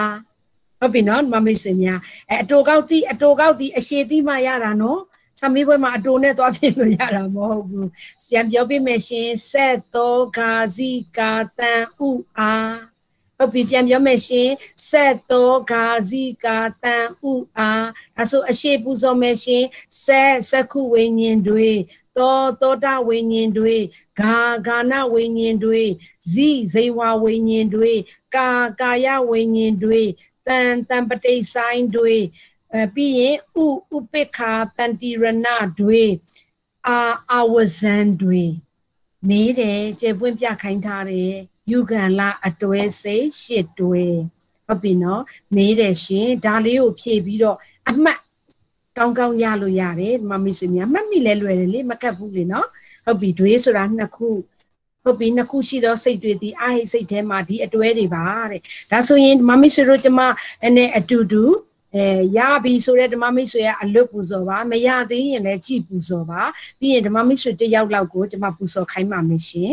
အဲအဲယူအာဟိစိတ်မှာရှိတဲ့ယူကံလအတွဲစိတ်ရှစ်တွဲမှာစက္ခုဝိညာဉ်တွေသောတာဝိညာဉ်တွေဂာနာဝိညာဉ်တွေဇိန်ဝါဝိညာဉ်တွေကာယဝိညာဉ်တွေတံပတိဆိုင်တွေဥပိ္ခာဥပိ္ခာလို့ဘာကြောင့်ထည့်ရတာလဲရှင်တန်တိရဏမှာ ဥပိ္ခာလည်းရှိတယ်သောမနတလည်းရှိတယ်ဥပိ္ခာပဲနှစ်ပါးရှိတာတန်သောမနတကနှစ်ပါးမရှိဘူးဒါကြောင့်ထဲ့ကိုထဲ့ပေးရမယ်တန်တိရဏဒွေလို့သွားဖြေမှားတယ်ဥပိ္ခာပါမမှန်ဟုတ်ပြီနော်မမေစင်များဥပိ္ခာတန်တိရဏဒွေအာဝဇန်ဒွေရပြီနော်မမေစင်များဒါဆိုရင်ဟိုကြည်ဆိုသည်ပဲဖြစ်ပါစေအလွတ်ဖြစ်ဆိုသည်ပဲဖြစ်စေမမေဆွေတယောက်ပူဇော်ပေးပါရှင်မိုက်ခရိုဖုန်းလေးဖွင့်ပေးပါ ခုနကမိုက်ခရိုဖုန်းဖွင့်ထားတဲ့တယောက်ကိုပဲခေါ်လိုက်ရမလားဟိုခုနကမပူဇော်ဖြစ်တဲ့ဒေါ်ဖြူလွင်သက်ဒေါ်ဖြူလွင်သက်ပူဇော်လို့ရရင်ပူဇော်ပေးပါနော်အာဟိစိတ်မှာရှိတဲ့ယူကန်လာအတွဲစိတ်ရှစ်တွဲကိုဖော်ပြပါဟိုအာဟိစိတ်ရှိယူကန်လာအတွဲရှစ်တွဲမှာစကုဝိညာဉ်တွေသောတာဝိညာဉ်တွေခန္ဓာဝိညာဉ်တွေစိတ်ဝဝိညာဉ်တွေကာယဝိညာဉ်တွေ တံပတိဆိုင်တွေဥပ္ပခာတန်ဒီယနာတွေအာဝဇန်တွေတို့ဖြစ်ပါသည်ဟုတ်ပါတယ်ရှင်ဟုတ်ပြီเนาะဒါဆိုရင်ကျန်တဲ့ဓမ္မမိတ်ဆွေများလည်းအတူပူဇော်ရင်းနဲ့ရသွားမှာပါစေတောကာဇီကာတန်ဥအာဟုတ်ပြီနော်ရပြီနော်မမစ်စမြဒါဆိုရင်မေးပါတယ်အဲမေးတဲ့အတွက်ကြောင့်ကျေပွင့်လေးလည်းပြထားပါရပြီလို့လည်းခံယူပါမယ်ရှင်ရပြီနော်ဟုတ်ပြီဒါဆိုကြောနောက်တစ်ခုတက်ပါမယ်ကာမဝဆရစိတ်54ပါးတွင်တဲ့ အဲကိုစီယာဖြိုးကျေးဇူးပြုပြီးတော့ဟိုပါပေါ့နော်ဒါဟိုဟို screen လေးအပေါ်လေးဟုတ်ပါပြီရှင်ရပါပြီကာမဝဆရစိတ်54ပါးတွင်အကုတလဝိဘက်စိတ်သည်တဲ့အကုတလဝိဘက်စိတ်ဆိုအကုသိုလ်ရဲ့အကျိုးစိတ်ကာမဝဆရအရာတွင်အဟိတ်တမျိုးသာရှိ၍တဟိတ်မရှိသောကြောင့်အဟိတ်တဟိတ်ခွဲခြားပြရန်မလိုပါတဲ့ မမီဆိုတော့ကပြားလေးကိုကြည့်လိုက်ပါရှင်ကာမဝဆရစိတ်54ပါးဟာ1ရယ်2ရယ်3ရယ်မလားဟုတ်တယ်နော်စိတ်3မျိုးအကုသိုလ်စိတ်12ပါးအာဟိစိတ်18ပါးကာမတောပနာစိတ်24ပါးအဲ့ထဲမှာနံပါတ်1ပဲအာဟိစိတ်ဆိုပြီးတော့ပါတာ1နဲ့3မှာပါလားမပါဘူးဟုတ်ပြီနော်မပါတဲ့အတွက်ကြောင့်တဲ့ ကာမဝဆရအရာတွင်တဲ့အဟိတ်တမျိုးသာရှိ၍တဟိတ်မရှိသောကြောင့်အဟိတ်မရှိတဲ့စိတ်ကတဟိတ်ပဲပေါ့အဲ့တော့1နှစ်3မှာနှစ်ကအာဟိတ်စိတ်1နဲ့3ကသာဟိတ်စိတ်ပေါ့ဓမ္မမိတ်ဆွေများဒါအခုဒီလောက်ပဲနားလည်ရတယ်အများကြီးဟိုမစဉ်းစားထားနေဟုတ်အခုဒီနှစ်ခုလေးခွဲခြားပြီးသိရင်ပြောမယ်54ပါးထဲမှာအာဟိတ်စိတ်ကတစ်မျိုးပဲရှိတယ် ဒါကြောင့်မို့54ပါးထဲမှာအာဟိတ်တာဟိတ်မခွဲတော့ဘူးတဲ့ဒီလောက်ပဲနားလည်ထားဟိုစိတ်ပိုင်းကိုတည်တည်ချာချာသိမှဒါကပုံနားလဲတာရပြီနော်နောက်တစ်ကြောင်ကုတလဝိဘစိတ်နဲ့ကရိယာစိတ်တည်တဲ့ကာမဝဆရအရာတွင်တဲ့အဟိတ်နဲ့တာဟိတ်နှမျိုးလုံးရှိသောကြောင့်အဟိတ်တာဟိတ်ခွဲခြားပြရန်လိုသည်တဲ့ကုတလဆိုတာကုသိုလ်အကျိုးကရိယာဆိုတာကရိယာစိတ် ဟုတ်ပြီနော်အဲ့ဒီ၃မျိုးထဲမှာကပြားလေးထဲမှာကြည့်လိုက်ပါရှင်အဟိတ်ထဲမှာလေကုတလပါတယ်ကရိယာပါတယ်နံပါတ်3လို့ပြောတဲ့ကာမသောပနာစိတ်တွေ့လားရှင်အဲ့ထဲမှာကုသိုလ်လည်းတွေ့တယ်ကရိယာလည်းတွေ့တယ်မဟုတ်လားရှင်ဒါကြောင့်မို့တဲ့အဟိတ်တဟိတ်တော့ခွဲခြားပြဖို့လိုတယ်တဲ့ကုသိုလ်နဲ့ကရိယာဆိုရင်ဒီလောက်ပဲနားလည်ထား အကုသလဝိဘက်စိတ်ဆိုရင်အဟိတ်စိတ်မှာပဲရှိတယ်တဲ့ကုသလဝိဘက်စိတ်နဲ့ကရိယာစိတ်ဆိုရင်တော့တဲ့အဟိတ်မှာလည်းရှိတယ်တာဟိတ်မှာလည်းရှိတယ်တဲ့တာဟိတ်ဆိုတာအဟိတ်မဟုတ်သောစိတ်ပါဒီလောက်ကလေးပဲသိထားဓမ္မမိတ်ဆွေများရပြီနော်စာမေးပွဲမှာလည်းမမေးဘူးသိဖို့အတွက်ပဲမေးတာကတရုပ်ခွဲတော့မှသိရမှာဒါကြောင့်မို့ဒါဆိုရင်စာမျက်နှာ16ရဲ့ညာဘက်ကော်လာလေးကိုကြည့်မယ်ရှင်အပေါ်ဆုံးကိုကြည့်ပါရှင်။ အော်ကျမတခုပူဇော်ပေးဖို့ကြံခဲ့တယ်ရှင်။စာမျက်နှာ15လေးကိုပြန်ဖွင့်အဲ15လေးကိုပြန်ဖွင့်ပေးပါနော်။စာမျက်နှာ15လေးမှာအလေလောက်အအပြာကတစိတ်ရဲ့အပေါ်မှာစောင်းဆိုတာမပုမပူဇော်ခဲ့ရဘူး။ကျမတရုပ်ပဲခွဲလိုက်တာအရေးအတွက်ပဲဖော်ပြပြီးတော့စောင်းမဖော်ပြမိဘူးပြန်ပူဇော်ပေးမယ်နော်။စောင်းတောတွေဥပ14ဝဧကတုဒုတဟကုံပြန်ပူဇော်ပေးမယ်နော်။ တောတွေဥပ14ဝဧကတုဒုတဟကုံတောဆိုတာတောမနတတဟကုံစိတ်အပေါင်းသင်္ကေတကိုပြောတာအာဟိတ်စိတ်ထဲမှာအပေါင်းသင်္ကေတနှစ်ခုရှိတယ်တဲ့ဟုတ်ပြီနော်ရပြီနော်မမစင်များပြီးရင်ဥပ14ဝဆိုတာဥပိ္ခာတဟဂုတ်ကခုနကကျမတို့ရေတွက်ခဲ့တယ်အနှုတ်သင်္ကေတလေး14ခုတွေ့ခဲ့တယ်ဧကဆိုတာ1 သူဒုတဟဂုတ်ဆိုတာဒုက္ခမှာတစ်ခုဒုက္ခမှာတစ်ခုဟုတ်တယ်နော်ဒုက္ခတဟဂုတ်ဒုက္ခတဟကတစ်ခုစီပဲရှိလို့ဧကာတဲ့ရမယ်နော်ဆောင်းပုတ်ကြိုက်တဲ့ဓမ္မမိတ်ဆွေများဆောင်းပုတ်နဲ့ကြက်လို့ရပါတယ်ရပြီနော်ဒါဆိုစာမျက်နှာ16ကိုပြန်ကြည့်ပေးမယ်ရှင် စာမျက်နှာ16မှာလည်းဆောင်းပုတ်ကလေးရှိပါတယ်အဲဓမ္မမိတ်ဆွေများအဲ့ဒီဆောင်းပုတ်ကလေးသိဖို့အတွက်အပေါ်မှာထို့ကြောင့်တဲ့အာဟိတ်အထူးပြုမပြုအားဖြင့်တဲ့အာဟိတ်စိတ်၁၈ပါးတွင်အကုတလဝိဘက်စေအာဟိတ်ကုတလဝိဘက်စိတ်နှင့်အာဟိတ်ကရိယာစိတ်ဟုခေါ်ရပါသည်တဲ့ဆောင်း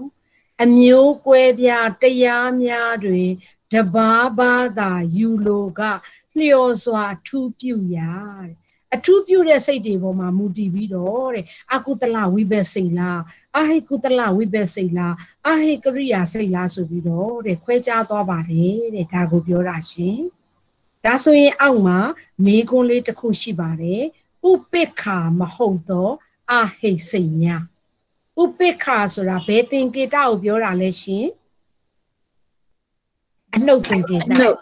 ဟုတ်ကဲ့ပါရှင်မမစ်စီတို့ဇရာဟိုကလေကပ်ပြားလေးကိုတော့အနားမှာချထားနော်ဟိုဟိုဘက်ဒီဘက်ဆိုမမစ်စီတို့မက်ဆီတွေရှုပ်ပြီးတော့ပို့ဆိုးသွားမှာဆိုလို့ကပ်ပြားလေးကြည့်ထားရင်ကျမတို့ကအခုဒါဥပိ္ခာမဟုတ်တော့ဥပိ္ခာမဟုတ်ဆိုအနှုတ်မဟုတ်တာကိုရှာမှာပေါ့အနှုတ်မဟုတ်ရင်ဘာကိုတွေ့သေးလဲ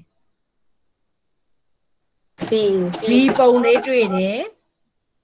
ခေါင်းအိပုံမ်ခေါင်မိုးလေးတွေ့တယ်အ ပေါင်းပုံအပေါင်းပုံလေးတွေ့တယ်ဟုတ်တယ်နော်အဲ့တော့ V ပုံလေးကိုဘာလို့ခေါ်လဲဒုက္ခတဟာဂုတ်စေအိမ်ခေါင်မိုးပုံလေးကိုဒုက္ခတဟာဂုတ်စေဟုတ်တယ်နော်မမစင်များဟုတ်ပြီဒါဆိုလို့ရှိရင်ဒုက္ခတဟာဂုတ်စေဒုက္ခတဟာဂုတ်ဒီမှာပေါင်းလိုက်တာနှစ်ပါးရှိတယ်တဲ့ပြီးရင် သောမနတလို့ပြောတဲ့အပေါင်းနှစ်ပါးမတွေ့ဘူးလားရှင်တွေ့တယ်နော်နာလေးရယ်ဟလေးရယ်နာကသောမနတတန်တီရဏစေတပါဟကသောမနတဟတ္တိတုပ္ပစေတပါရှင်းပြီလားရှင်ဒီမေခွန်းလေးကိုဖြည့်ဒီထဲမှာပါတဲ့မေခွန်းတွေကစမေပွဲမှာပါတာတွေကိုမင်းရေးရေးအချို့ကိုရေးရေးပြပေးထားတာ မမီစမြန်ဒါကြောင့်မို့ဒါဆိုရင်ရှင်းပါတယ်မေခွန်းကိုကရှင်းနေပါပြီဥပိ္ပခာမဟာမဟုတ်တော့စိတ်အဟိတ်စိတ်များလို့ပြောရင်ကျမတို့သင်္ကေတကိုစဉ်းစားရင်အနှုတ်အဲ V ပုံလေးတွေ့မယ်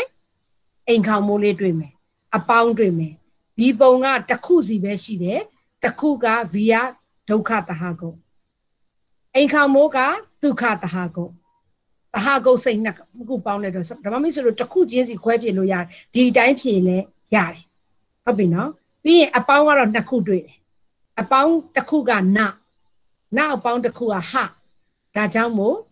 သောမနတတန်တိရဏစိတ်ကတပါ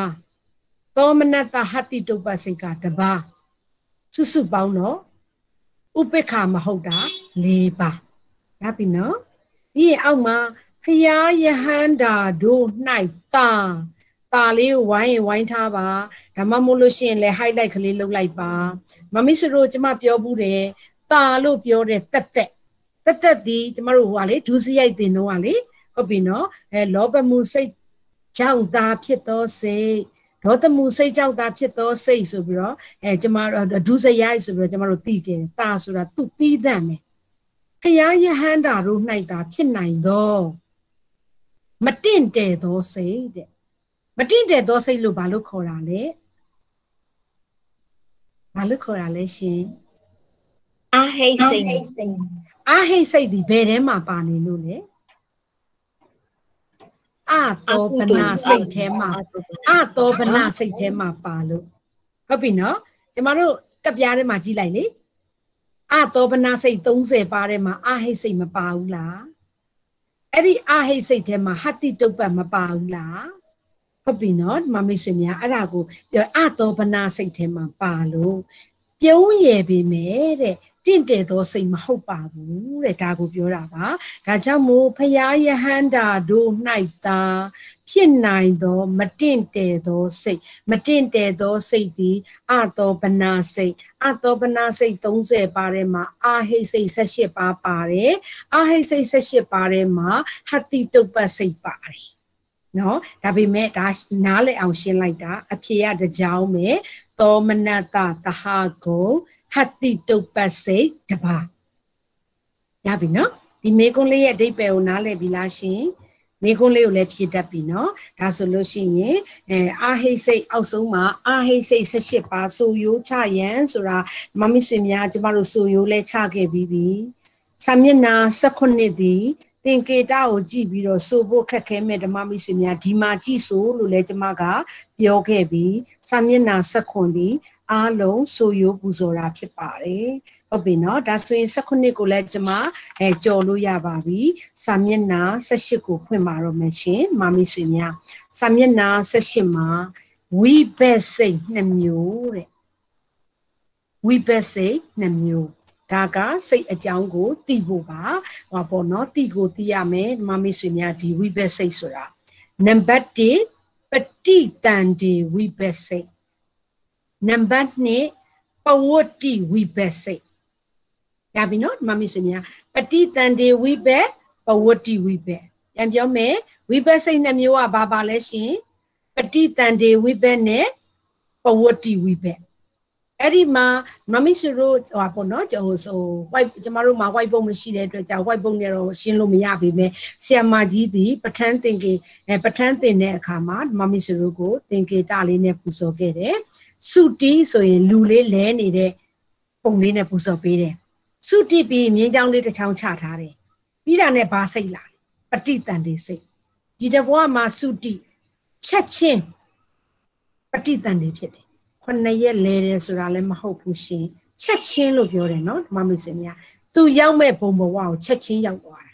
ဘုံပိုင်းမှာသင်ရမယ်အရန်စိတ်ဝင်စားဖို့ကောင်းတယ်ဓမ္မမိတ်ဆွေများဟုတ်ပြီနော်အဲဟုတ်ပြီဒါဆိုရင်ပဋိသင်္ဍေဝိဘက်အဲ့ဒီမှာပဋိသင်္ဍေဝိဘက်တော့သိပြီစုတိပြီးတော့ဆဆခြင်းဖြစ်တာသည်ပဋိသင်္ဍေ ဘဝအစစပြီးတော့ကလလရေကြီးလေးစဖြစ်တာရုပ်ပိုင်းမှာပူဇော်ရလိမ့်မယ်ကလလရေကြီးဆိုတာဘာလဲဆိုတာဟုတ်ပြီနော်အဆက်အပေါက်ကလေးတစ်ခုကနေစပြီးတော့ပฏิတန်တေမမီဆိုတို့ကျမတို့အခုလက်ရှိမမီဆိုတို့ကျမတို့ရဲ့လက်ရှိခန္ဓာကိုရနေတယ်ဟုတ်လားရှင်ဟုတ်ပြီနော်ကျမတို့ဒီအတိတ်ဘဝကကုသိုလ်ကံဘယ်အတိတ်ကမှမသိဘူးနော် ကုသိုလ်ကံရဲ့အကျိုးကြောင့်လက်ရှိခန္ဓာသူကတိဘုံမှာဒီခန္ဓာရနေတယ်မမီဆိုတို့မျက်စိနားနှာခေါင်းရှာကိုမတို့အကုန်လုံးကောင်းတယ်ဒီလိုတရားလေးတွေကိုသင်ခွင့်ရနေတယ်မမီဆွေများဟုတ်ပြီနော်အဲ့ဒါဒီကျမတို့ဒီခန္ဓာရဖို့ပထမဦးဆုံးပฏิတန်ဒီဝိဘက်ကနေစဖြစ် တိတန်တေဝိပက်လို့စဖြစ်တဲ့ကျမတို့ခန္ဓာသည်တဖြည်းဖြည်းကြီးရင်လာပြီးတော့လက်ရှိအခြေအနေအထိကျမတို့ဒီခန္ဓာဒီရုပ်ဒီဟိုဟာဘုံမှာပြောင်းလဲလို့ရတော့တာမရတော့ဘူးပဋိသင်္ဍေမာတွေကကျမတို့ဒါရသွားပြီဟုတ်ပြီနော်မမေဆွေများဒါကြောင့်မို့တဲ့ပဋိသင်္ဍေဝိဘက်ဆိုတာတဲ့ဘဝတစ်တစ်ခုဖြစ်ပေါ်ခြင်းအကျိုးတဲ့ စုတိမယ်အကုသိုလ်ကံအကျိုးကြောင့်ခွေးကလေးကြောင်ကလေးဖြစ်မယ်မိခင်ရဲ့ဝင်းထဲမှာခွေးမိခင်ရဲ့ဝင်းထဲမှာပฏิတန်ဒီစဖြစ်တယ်တစ်ချိန်ဘာမှပြောင်းလဲလို့မရဘူးခွေးဖြစ်ကိုဖြစ်မှာကြောင်ကလေးဒီတဘွားအကုသိုလ်ကံစုတိခဲ့တယ်အကုသိုလ်ကံနဲ့သူဒီဒုက္ခတိပုံရောက်တယ်ကြောင်ကလေးဖြစ်တယ်ကြောင်ရဲ့မိခင်ထဲမှာဝင်တယ်ကြောင်ဖြစ်ကိုဖြစ်ရမယ်ပฏิတန်ဒီဖြစ်သွားပြီ ဘဝသစ်စရပါပြီမမိဆွေတို့ကျမတို့ကုသိုလ်ရဲ့အကျိုးအတိတ်ကကုသိုလ်ရဲ့အကျိုးကြောင့်မိခင်ရဲ့ဝန်ထဲမှာပဋိသန္ဓေလူဖြစ်ခွင့်ရတယ်ဟုတ်ပြီနော်ဒီမမိဆွေများပဋိသန္ဓေတွေကဒီလူဖြစ်ကိုဖြစ်တော့မှာသဘောပေါက်ပြီနော်ဒါကြောင့်မို့တဲ့ဘဝတစ်တစ်ခုဖြစ်ပေါ်ခြင်းအကျိုးတဲ့တဘဝမှာတစ်ခါသာအကျိုးပေးတယ်တဲ့ ခွေးကလေးရဲ့မိခင်တဲ့ကိုရောက်သွားပြီဆိုရင်ခွေးကလေးပုံပဲဖြစ်မှာကြောင်ရဲ့မိခင်ဘဝဝန်းတဲကိုဝင်သွားပြီပဋိတန်တွေစောက်ရပြီဆိုရင်ကြောင်ပဲဖြစ်မှာလူရဲ့မိခင်မှာပဋိတန်တွေစဖြစ်ပြီဆိုရင်လူပဲဖြစ်တော့မှာဟုတ်ပြီနော်ဒါဒီတဘဝမှာတစ်ခါပဲအကျိုးပေးတယ်တဲ့သဘောပေါက်လားရှင်ရမယ်နော်အဲ့ဒီထဲမှာမှာတဲ့ ကျမတို့ကအခုဝိဘက်အကျိုးကိုရနေရလေကျမတို့ကလူဖြစ်တယ်ဆိုတာသူဂတိဘုံသူဂတိဘုံမှာလူဖြစ်ခွင့်ရတယ်ဒါအကျိုးတွေဖြစ်နေတာဟုတ်ပြီနော်ပဋိတန်ဒီဝိဘက်နှစ်မျိုးရှိတယ်တဲ့အကုသိုလ်ပဋိတန်ဒီဝိဘက်ခုနကပဲရှင်းခဲ့တယ်ငရဲတိရစ္ဆန်ပြိတ္တာအတုရကေကုသိုလ်ပဋိတန်ဒီဝိဘက်လူနတ်မြမဟုတ်ပြီနော်မမေ့စင်များဒါဆိုပြန်ရှင်းပြမယ် ဝိဘက်စိတ်နှမျိုးရှိတယ်ပဋိတန်ဒီဝိဘက်နဲ့ပဝတ္တိဝိဘက်ပဝတ္တိပဋိတန်ဒီဝိဘက်ဆိုတာဘဝအစတစ်ခုစဖြစ်တာဘဝအသစ်စရတာတဘဝမှာတစ်ခါပဲဖြစ်တော့မှာလူပဋိတန်ဒီဆိုလူပဲဖြစ်မယ်ခွေးပဋိတန်ဒီဆိုခွေးပဲဖြစ်မယ်ကြောင်ပဋိတန်ဒီဆိုကြောင်ပဲဖြစ်မယ်ရပြီနော်ငှက်ကလေးပဋိတန်ဒီဆိုငှက်ကလေးပဲဖြစ်မယ်ရပြီနော်အဲ့တော့အကုသိုလ်ပဋိတန်ဒီကုသိုလ်ပဋိတန်ဒီက တိပြီးသားဓမ္မမေရှင်များနံပါတ်2ပဝတ္တိဝိဘက်တဲ့ပဋိတန်ဒီလေးဖြစ်ပြီးမွေးဖွားပြီးမမီဆိုတော့ကျမတို့မွေးဖွားပြီးကနေစပြီးတော့သေဆုံးတဲ့အထိကျမတို့ဒီခန္ဓာနဲ့နေတာမဟုတ်လားမသေဆုံးသေးဘူးယခုလက်ရှိမှာဒီခန္ဓာနဲ့နေနေရမလားဟုတ်ပြီနော်အဲ့တော့ပဋိတန်ဒီစိတ်ကနေစပြီးတော့စုတိစိတ်မကြ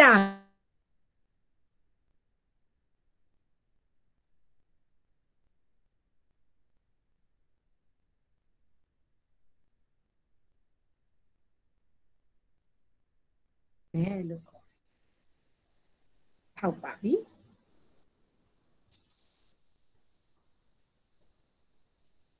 ဟယ်လိုကြားပါလားရှင်ကြားပါပြီရှင်ဟုတ်ကဲ့ခုန line လေးခက်ခဲဖြစ်သွားလား line နည်းနည်းကျသွားလို့နော်ဟုတ်ကဲ့ရှင်ဒါဆိုပြန်ပြော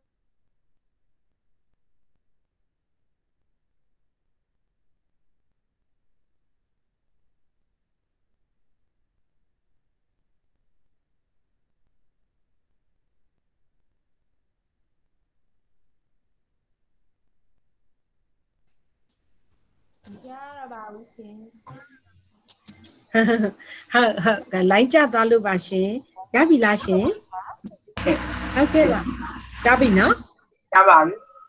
ဟုတ်ကဲ့ပါဒါဆိုရင်အဲကိုစရာဖြိုးနံပါတ်1အဲလေးကိုအဲပူဇော်ဖို့အတွက်အပေါ်လေးနည်းနည်းပြပေးပါနော်ပဝတ္တိဝိဘက်လေးကိုကြည့်ချင်ပါတယ်ရှင်ဟုတ်ကဲ့ဘဝသစ်စချိန်မှသေဆုံးချိန်ထိဂျားကာလတွင် ပေးသောအကျိုးမမီဆိုတော့ကျမတို့ မွေးဖွားစဉ်ကနေစပြီးတော့မသေးမချင်းပဝတ္တိပဲသဘောပေါက်တယ်နော်အဲ့တော့တဲ့အဲ့ဒီပဝတ္တိဝိဘက်အကျိုးကကြတော့တဲ့နှစ်မျိုးရှိတယ်တဲ့အကုသိုလ်ပဝတ္တိဝိဘက်ဖြစ်ရာဘဝမွေးချိန်မှတေချိန်အထိဂျားကာလမကောင်းကျိုးပေးမယ်တဲ့ကုသိုလ်ပဝတ္တိဝိဘက်ဖြစ်ရာဘဝမွေးချိန်မှတေချိန်အထိဂျားကာလကောင်းကျိုးများပေးခြင်းတ လှဲ့စီလာမှာကောင်းတာတလှဲ့ဆိုးတာတလှဲ့တောက်လျှောက်ကောင်းသွားရင်လည်းကုသိုလ်ကံအကျိုးကကောင်းလို့လို့ပေါ့တောက်လျှောက်ဆိုးသွားရင်လည်းကုအကုသိုလ်ကံအကုသိုလ်ကံအကျိုးပေးအားနေခဲ့လို့ပေါ့ဟုတ်ပြီနော်ဓမ္မမိတ်ဆွေများကျမတို့ဓမ္မမိတ်ဆွေတို့ခုနပြောသလိုပေါ့ခွေးကလေးနော်ခွေးကလေးတွေဟိုဟာပေါ့ကောင်းကောင်းနေရတဲ့ခွေးကလေးနဲ့စာစာရှာဖွေစားရတဲ့ခုံကလေးတွေမတူသလိုမမိတ်ဆွေတို့ကျမတို့မှာလေဒီမသေးမချင်း ဘယ်အချိန်မှာကုသိုလ်ကံအကျိုးပေးမလဲဘယ်အချိန်မှာအကုသိုလ်ကံအကျိုးပေးမလဲအဲအရင်တော့ကအရင်ဆင်းရဲတယ်ဟောဆင်းရဲတဲ့ဘဝမှာဒုက္ခမျိုးစုံခံရတယ်ချက်ချင်းမဲ့သူသည်မရှိမဲ့ရှိမဲ့လေးနဲ့ထိုးလိုက်တဲ့ထီတစောင်ကနေပြီးတော့တိမ်ပေါင်းများစွာချမ်းသာတဲ့အချိန်ကိုဖြစ်သွားတယ်သူမသေးသေးတဲ့အတွင်းမှာမွေးဖွားချိန်ရစပြီးတော့မသေးသေးတဲ့အတွင်းမှာဒုက္ခဆိုတဲ့ဆင်းရဲခြင်းကိုလည်းကြုံခဲ့ရတယ်။ နော်ဟောပေါ့ဟောပေါ့ငွေကြေးမပြည့်စုံခြင်းကိုလည်းသူကြုံရတယ်လို့ဟုတ်ပြီနော်အဲ့ဒီအခါကျရင်တော့သူ့အတွက်ကအနိဋ္ဌာယုံဖြစ်နေမှာပေါ့လေ။အဲ့ဒီချိန်မှာထီစုကြီးပေါက်သွားတယ်။သူဘာဖြစ်သွားလဲ။နော်ချမ်းသာတဲ့ဘဝကိုရောက်သွားတယ်။အဲ့ဒီမသေးမချင်းမှာအကုသိုလ်ပဝတ္တိဝိဘက်လည်းဖြစ်နိုင်တယ်။ကုသိုလ်ပဝတ္တိဝိဘက်လည်းဖြစ်နိုင်တယ်လို့ပြောတာမမရှင်များဒါကိုပြောခြင်းဖြစ်တယ်ဥပမာအားဖြင့်မွေးဖွားစဉ်ကတော့ကောင်းပါတယ် တခုခု accident လေးဖြစ်သွားပြီးတော့လက်ကလေးထိခိုက်သွားတယ်မျက်စိထိခိုက်သွားတယ်ဟုတ်ပြီနော်မမရှင်များအဲ့လိုမျိုးဖြစ်သွားရင်မွေးဖွားစဉ်ကကတော့ကုသိုလ်အကျိုးပေးတာပေါ့အကုန်လုံးကိုလက်အင်္ဂါပြည့်စုံတယ်တခုခုထိခိုက်မိသွားပြီးတော့ကိုလက်အင်္ဂါချွတ်ယွင်းသွားတယ်အဲ့ဒီအချိန်မှာကုသိုလ်အကုသိုလ်အကျိုးဖြစ်သွားတာပေါ့ဒါကြောင့်မို့တဲ့မွေးဖွားချိန်ကစပြီးတော့သေဆုံးချိန်မတိုင် ဂျားမှာပဝတ္တိလို့ခေါ်တယ်အဲ့ဒီပဝတ္တိရတော့တဲ့အကုသိုလ်အကျိုးလည်းဖြစ်နိုင်တယ်ကုသိုလ်အကျိုးလည်းဖြစ်နိုင်တယ်တဲ့တလှည့်စီအကျိုးပေးတာတဲ့မမရှင်များရှင်အကျိုးပေးတာဒီတဲ့အချိန်ဆောင်နေတာပါတဲ့သူ့ရဲ့ပြုခဲ့တဲ့အကုသိုလ်ကံကုသိုလ်ကံပေါ်မှာမူတည်ပြီးတော့အချိန်တိုက်ဆိုင်လာရင်ဘယ်လိုမှတားမရပါဘူးတဲ့ ကုသိုလ်ကံအကျိုးပဲဖြစ်ပါစေအကုသိုလ်ကံအကျိုးပဲဖြစ်ပါစေကျမနဲ့ပဲရှင်ပြီးတော့ပြောပြပါမယ်ကျမဒီကျောင်းဆရာမဘဝမရောက်ခင်တည်းကကျမငငယ်တည်းကကဘာအေးဖះမှာဆုဆုဆုဆုနဲ့ဘာလုပ်နေရလဲလို့သွားဆက်ဆုဘူးတယ်လို့ပြောဘူးတယ်နော်ကျမအဲ့ဒီမှာသွားပြီးတော့ဆက်ဆုတဲ့အခါမှာအဘိဓမ္မာစာမေးပွဲဖြေမလို့ကြက်နေတာလို့ပြောတော့ကျမအဲ့ထဲကအဘိဓမ္မာကိုအရန်စိတ်ဝင်စားတယ် အရန်စိတ်ဝင်စားပြီးတော့ကျမအပေါ့နော်2010ခုနှစ်မှာအကြောင်းတိုက်ဆိုင်ပြီးတော့ကျမရဲ့ညီမလေးအဲနှစ်ယောက်ရဲ့အဲခေါ်ဆောင်မှုနဲ့ကျမဒီဂျေစုရှင်ကျမရဲ့ဂျေစုရှင်ထဲမှာပါတယ်ကျမဒီလိုမျိုးတင် जा ပေးနိုင်အောင်ဒီညီမနှစ်ယောက်ကနေပြီးတော့ရှမိုင်းဒေါခင်တနာဦးကျမရဲ့လက်ဦးဆရာမတင်နန်းမှာလာတက်ကြည့်ပါလားဆိုပြီးတော့အဲကျမတက်လိုက်တဲ့အခါမှာကျမဒီအခုတောက်လျှောက်စ조사လာလိုက်တာအခုဓမ္မမိတ်ဆွေတို့ကိုဖြန့်ဝေသူအနေနဲ့ ဓမ္မမိတ်ဆွေတို့အရှိကိုရောက်တဲ့အထိပေါ့နော်အဲ့လိုရောက်တဲ့အထိကကိုကလေအဘိဓမ္မာဆိုတာကိုလေ့လာပြီးတော့သိခွင့်ရတယ်သိတဲ့အခါမှာအယံမဲ့တာလွန်နဲ့ထူးဆန်းတယ်တစ်ခုသိပြီးရင်နောက်တစ်ခုသိခြင်းတယ်သိခြင်းတဲ့အတွက်ကြောင့်စူးစမ်းစူးစမ်းစူးစမ်းလာတယ်အဲ့အချိန်မှာကျမကျောင်းဆရာမပဲရှိသေးတယ်ကျောင်းဆရာမပဲရှိသေးတဲ့အခါမှာကျမဒီဟွာပေါ့နော်ဝရိယအားတအားစိုက်ထုတ်ရတယ်ရှင်ကျောင်းဆရာမမှလည်းအတန်းမှုဖြစ်တဲ့အတွက်ကြောင့်မအား ပြီးတဲ့အခါမှာဟိုပါပေါ့နော်အဲဒီအတင်နန်းနေတက်တဲ့အတွက်ကြောင့်လည်းစနစ်တနည်းကုနေဆိုတာလည်းကျမမှမရှိဘူးအဲစနစ်တနည်းကုနေမှာကျမကျောင်းအလုံးနဲ့တိုက်ဆိုင်လို့ဟိုပါပေါ့နော်အဲတင်နန်းနေလွတ်ခဲ့ရင်လည်းကျမပြန်ပြီးတော့ဟိုပါပေါ့နော်ပြန်စူးစမ်းပြီးတော့ပြန်တက်တယ်ဝရိယတအားအားထုတ်ခဲ့ရတော့ကျမသိတယ်လို့အဘိဓမ္မာကိုသိကျင်တဲ့အခါမှာကျမရဲ့မိတ်ဆွေကျမရဲ့ချစ်တငယ်ချင်းကျမရဲ့ကျောင်းဆရာမအချင်းချင်းကျမဒီအဘိဓမ္မာသင်တန်းတက်ပါလား အရန်ကောင်းတာငါတို့စိတ်ကိုငါတို့သိရမှာငါတို့စိတ်ကိုတရုပ်ခွဲဖို့အတွက်ဘိဓမာကပဲခွဲပေးနိုင်မှာကျမဒီမှန်သောသစ္စာနောက်ကြုံကြရင်ပြောပါမယ်ကျမကအရန်စူးစားတဲ့အတွက်ကြောင့်မာနတအားကြီးရဲ့ရှင်မာနဆိုတာစူးစားတဲ့အတွက်ကြောင့်ဟိုပညာလို့ခေါ်တဲ့ပညာတွေတက်တာပေါ့နော်ဟိုဟာလောကီဘွဲမှာဆိုလဲ MSc ထိတက်ခဲ့ရတယ်ကျွန်မရခဲ့တယ်ပေါ့နော်အဲအဲ့လိုမျိုးလောကုတ္တရာဘွဲ့မှာလည်းအဲလောကုတ္တရာဒီလိုမျိုးပေါ့နော်ဒီအဘိဓမ္မာလေ့လာတော့လေကျွန်မစူးစမ်းမှုရဲ့အကျိုးကိုရရှိတဲ့အတွက်ကြောင့်ဟာပေါ့နော်လောကုတ္တရာမရောက်ခင်လောကီမှာကျောင်းမှာဆိုလို့ရှိရင်လည်းကျမအဲဒီလိုပေါ့ကျမရဲ့စူးစမ်းမှုအတွက်ထိုက်လျောက်တယ်ဆိုတော့ကျမကမာနကြီးတယ်မာနကြီးတယ်ဆိုတာဒီလိုပေါ့ကျမကကိုကောင်းတာပဲငါလုပ်တာငါသူများကိုမစော်ကားဘူးဟုတ်ပြီနော်ဒါကြောင့်မို့အဲငါ့ကိုမထိနဲ့ အဲ့ဒီစိတ်ကလေးလည်းရှိတယ်ရှင်ကျမကအဘိဓမ္မာတက်တော်မှာအယမ်းရှက်တာအယမ်းရှက်တာစေတသိက်တွေသင်ရတော့မှမာနစေတသိက်တွေအလွန်ရှက်တဲ့ရှက်စရာကောင်းသောအကုသိုလ်စေတသိက်ကြီးမှန်ဖြစ်သိတဲ့အခါမှာကျမသည်ရှက်လွန်းလို့ကိုကိုကိုအဘိဓမ္မာတက်တဲ့အခါမှာဒါကြောင့်မို့ကျမအဘိဓမ္မာတရားကိုသိခွင့်ရတဲ့အတွက်ကြောင့်ကျန်တဲ့လူတွေလည်းသိပါစေဆိုပြီးတော့ဆွဲတာပေါ့ဆွဲတော့ကျမအဆွဲတော်တော်ကောင်းနေတဲ့တူတယ်တော်တော်တော်များများ ဟဲ့နေရတော့နင်ကဘာကိစ္စမှမမရှိတာ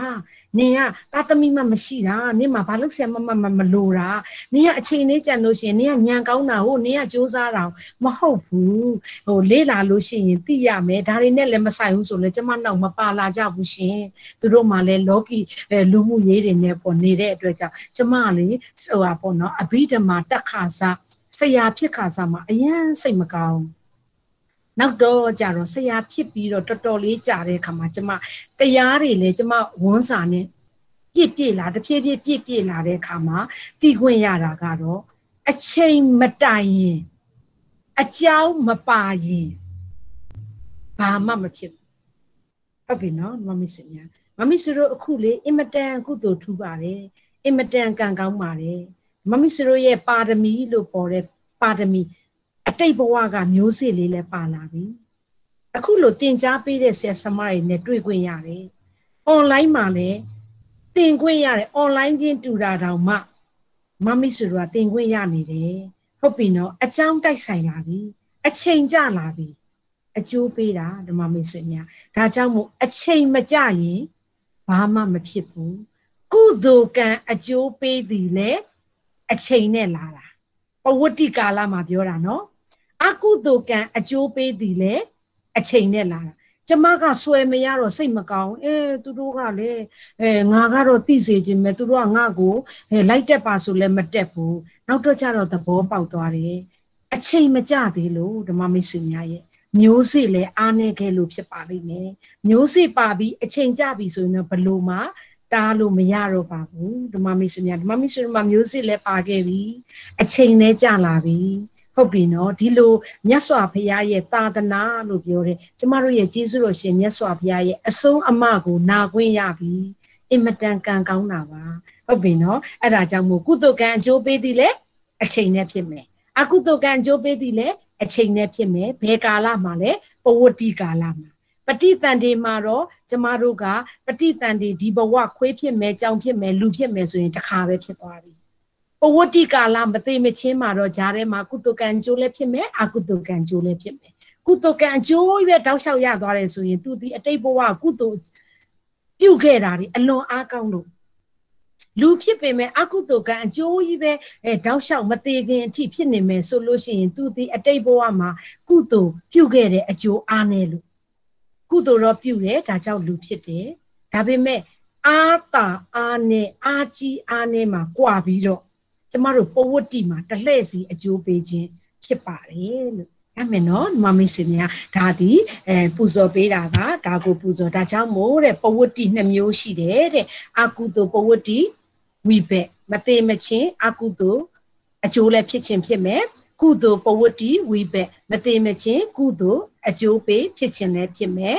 ဂျားကာလမှာအကုန်ဖြစ်ပါမယ်တဲ့ဒါကိုပြောခြင်းဖြစ်ပါတယ်ဒီထိရလားရှင်အဲဒါဆိုရင်ကျမတို့ဒီနေ့ကတော့မေကွန်းလဲလုပ်လို့မရသေးပေမဲ့အောက်မှာအာဟိတ်စိတ်၁၈ပါတရုတ်ခွဲလေးကျင်ရန်လေးကိုနည်းနည်းလေးကြည့်လိုက်မယ်အချိန်လေးတော့နည်းနည်းကြော်သွားပြီเนาะမမေ့စင်များဒီ၃ခုလေးကိုကြည့်လိုက်မယ်เนาะ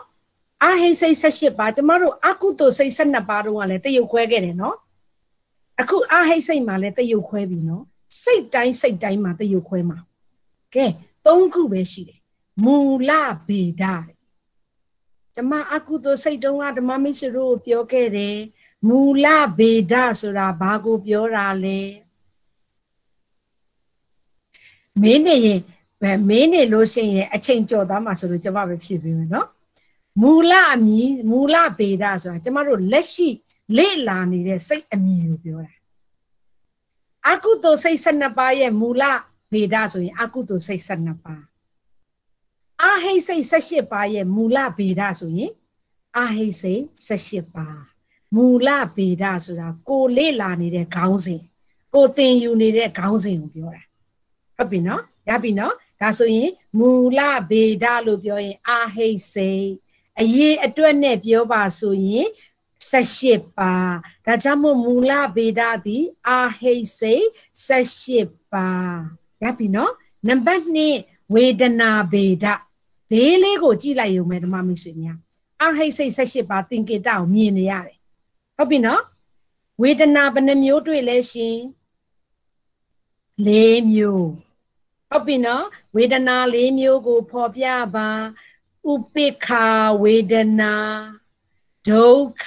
ဝေဒနာဒီပုံလေးကိုပြောတာဒုက္ခဝေဒနာအိမ်ခေါင်မိုးလေးကိုပြောတာသောမနတဝေဒနာ အပေါင်းသင်္ကေတလေးကိုပြောတာဒါကြောင့်မို့ဝေဒနာဘယ်နှမျိုးလဲ၄မျိုးပြန်ပူဇော်မယ်ရှင်အနှုတ်သင်္ကေတလေးကိုမြင်လို့ဥပိ္ခာဝေဒနာအဲ့လိုရေးပေးရမှာရှင်ဥပေက္ခဝေဒနာဗေဒခွဲပြပါဆိုရင်ဝေဒနာ၄မျိုးရှိပါသည်၎င်းတို့မှာဥပေက္ခဝေဒနာ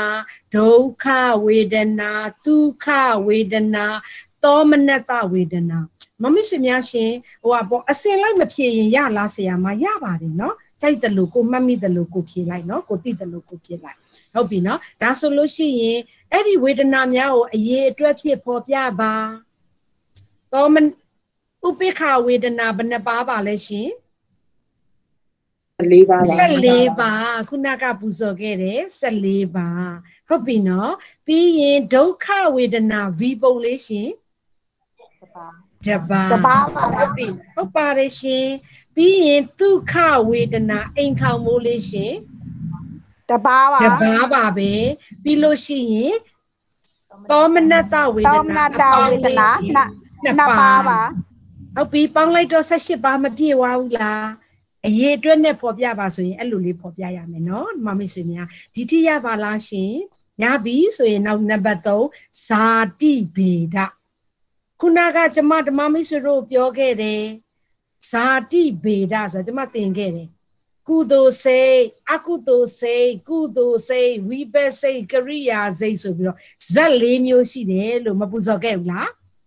ဇက်၄မျိုးကဇာတိဗေဒပဲဇာတိဗေဒလို့ပြောရင်စိတ်အမည်ကိုဖော်ခိုင်းတာဇက်၄မျိုးကိုဖော်ခိုင်းတာပြန်ပြောပြမယ်ရှင်ဇာတိဗေဒဆိုတာစိတ်၄မျိုးဇက်၄မျိုး အဲ့တော့ကျမတို့ကဇာတိနဲ့မေးတဲ့အတွက်ကြောင့်ဇက်နဲ့ပဲဖြစ်နေ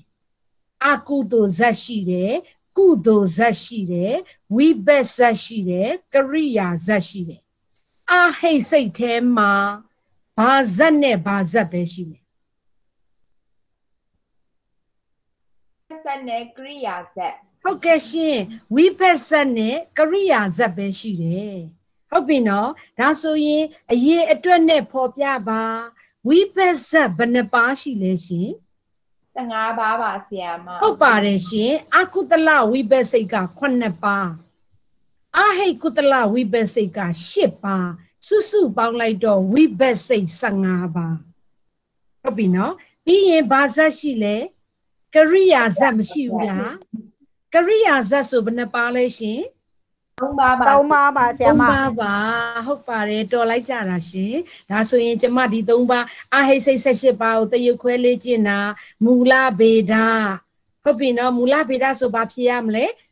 ကိုတင်နေတဲ့ခေါင်းစဉ်အဟိစိတ်ဆက်ရှိပါဝေဒနာဗေဒအနှုတ်လေးတွေအပေါင်းလေးတွေကိုလိုက်ရှာ၄မျိုးအရေးအတွက်နဲ့ပေါ်ပြဇာတိဗေဒဇတ် ဇတ်ဆိုရင်၄မျိုးရှိတယ်အကုသိုလ်ကုသိုလ်ဝိဘက်ကရိယာဒီအာဟိစိတ်ထဲမှာဝိဘက်နဲ့ကရိယာပဲရှိတယ်ဟုတ်ပြီနော်အကုသိုလ်ကုသိုလ်မပါဘူးဟုတ်ပြီနော်ဒါဆိုလို့ရှိရင်တရွခွဲတတ်ပြီနော်မမီဆွေများဒါဆိုရင်ဒီနေ့သင်ခန်းစာဒီမှာရပ်ပါမယ်မမီဆွေများကျမကြိုတင်ပြီးတော့ကြီးညာစရာရှိပါတယ်မမီဆွေများရှင်မနေ့ဖန်တီဒုတိယဆင်ရုပ်ပိုင်းသင်ခန်းစာပါစမတ်တော်ဤမို့ဆို line ပြန်ရနေပါပြီဒါကြောင့်မို့ဒါပေမဲ့နယ်မှာဖြစ်တဲ့အတွက်ကြောင့် line ကဟိုရလိုက်မရလိုက်ဖြစ်နေတာပေါ့နော်မနေ့ဖန်စမတ်တော်အီမိုဆိုသည် line ရခဲ့မယ်ဆိုရင်စမတ်တော်အီမိုဆိုတင်ပါမယ်လိုင်းမရဘူးဆိုရင်တော့ကျမအစားထိုးတင်ပေးပါမယ်ဟုတ်ပြီနော်ညီမမိတ်ဆွေများရုပ်ပိုင်းသင်ခန်းစာနဲ့ပတ်သက်လို့မနှက်ဖန်အတွက်ကြိုတင်လာတာပါရှင်ဒါဆိုလို့ရှိရင်ညီမမိတ်ဆွေများအဲကျမတို့အတူတူ သင်နန်းစင်ပြီးဆုံးကြောင်းလေးပူဇော်ပါမယ်။ဆာမျက်နာတက်တလင်းချိတ်ပါရှင်။ ဗုဒ္ဓဂုဏောအနန္တောဓမ္မဂုဏောအနန္တောသံဃဂုဏောအနန္တောမာတာပိတုဂုဏောအနန္တောအာစရိယဂုဏောအနန္တောဟုအနန္တဂုံအင်းကျေးဇူးရှင်တို့ကိုဝန်ဒေဝန္တာမိယောသေးမြတ်နိုးလက်ဆုံမိုး၍ရှ िख ိုးကြောပါဤအရှင်ဖျား ယနေ့ယခုအဘိဓမ္မာဒေသနာတော်ကို နာယူသင်ကြားရသော ကုသိုလ်ကောင်းမှုတို့ဤအဖို့ဘာကတို့ကို၎င်းယနေ့ ဓမ္မမိတ်ဆွေတို့အဲပြုခဲ့ဘူးသော ပြုနေစေဖြစ်သောဒါနကုသိုလ်စောက်တည်သမျှသောသီလကုသိုလ်ပွားများအထုတ်နေသောဘာဝနာကုသိုလ်ဓမ္မမိတ်ဆွေများရှင်ဓမ္မမိတ်ဆွေများဘာဝနာကုသိုလ်ဆိုရင်ဒီလိုတရားတရားမှာနာယူတာဒီလဲဘာဝနာပါတရားစာတွေကိုဖတ်ကြားတာလဲ ဘာဝနာပါဒါကြောင့်မို့ဘာဝနာကုသိုလ်လို့ပြောချင်ပါတယ်ဒီသင်္นานဖြစ်မြောက်ရေးအတွက်ဝေယဝဆကုသိုလ်လုပ်အားပေးကြတော့ဝေယဝဆသီလကုသိုလ်ဓမ္မမိတ်ဆွေများဤလေလာသင်ယူအဘိဓမ္မာတရားတော်များကိုလေလာသင်ယူရသောဓမ္မဒေအဲဓမ္မတဝနာကုသိုလ်ဆရာမဤမေတ္တာစေတနာဖြင့်သင်ကြားပြသပေးသောဓမ္မဒေသနာကောင်းမှုကုသိုလ်အဆုစုတို့ကို အားလုံးကြာကြာသမျှအမြအမြအမြယူတော်မူကြပါကုန်လော သာဓုသာဓုသာဓုအားလုံးကြာကြာသမျှအမြအမြအမြယူတော်မူကြပါကုန်လောသာဓုသာဓုသာဓုအားလုံးကြာကြာသမျှအမြအမြအမြယူတော်မူကြပါကုန်လောသာဓုသာဓုသာဓု ဓမ္မမိတ်ဆွေများကျမ်းမာချမ်းသာပြီးတော့ယနေ့ယခုအဘိဓမ္မာဒေသနာတော်တရားများကိုနာယူရခြင်းဤအကျိုးသည်နိဗ္ဗာန်ရောက်ကြောင်းအာကြီးသောပါရမီအထောက်ပံ့ကောင်းများဖြစ်ကြပါစေရှင်အမှန်ပါပဲဒီလိုမျိုးဒီလိုပါနာကျင်နဲ့ပြည့်စုံပါသည်ပေးတဲ့ဆုနဲ့ပြေးပြရစီရှင်နောက်တစ်ပတ်သိပ်ပိုင်းသင်ခန်းစာမှာပြန်လည်ဆုံတွေ့ပါမယ်ရှင်မမဆွေများဒီပါဆရာမကြီးတင်ပါတယ်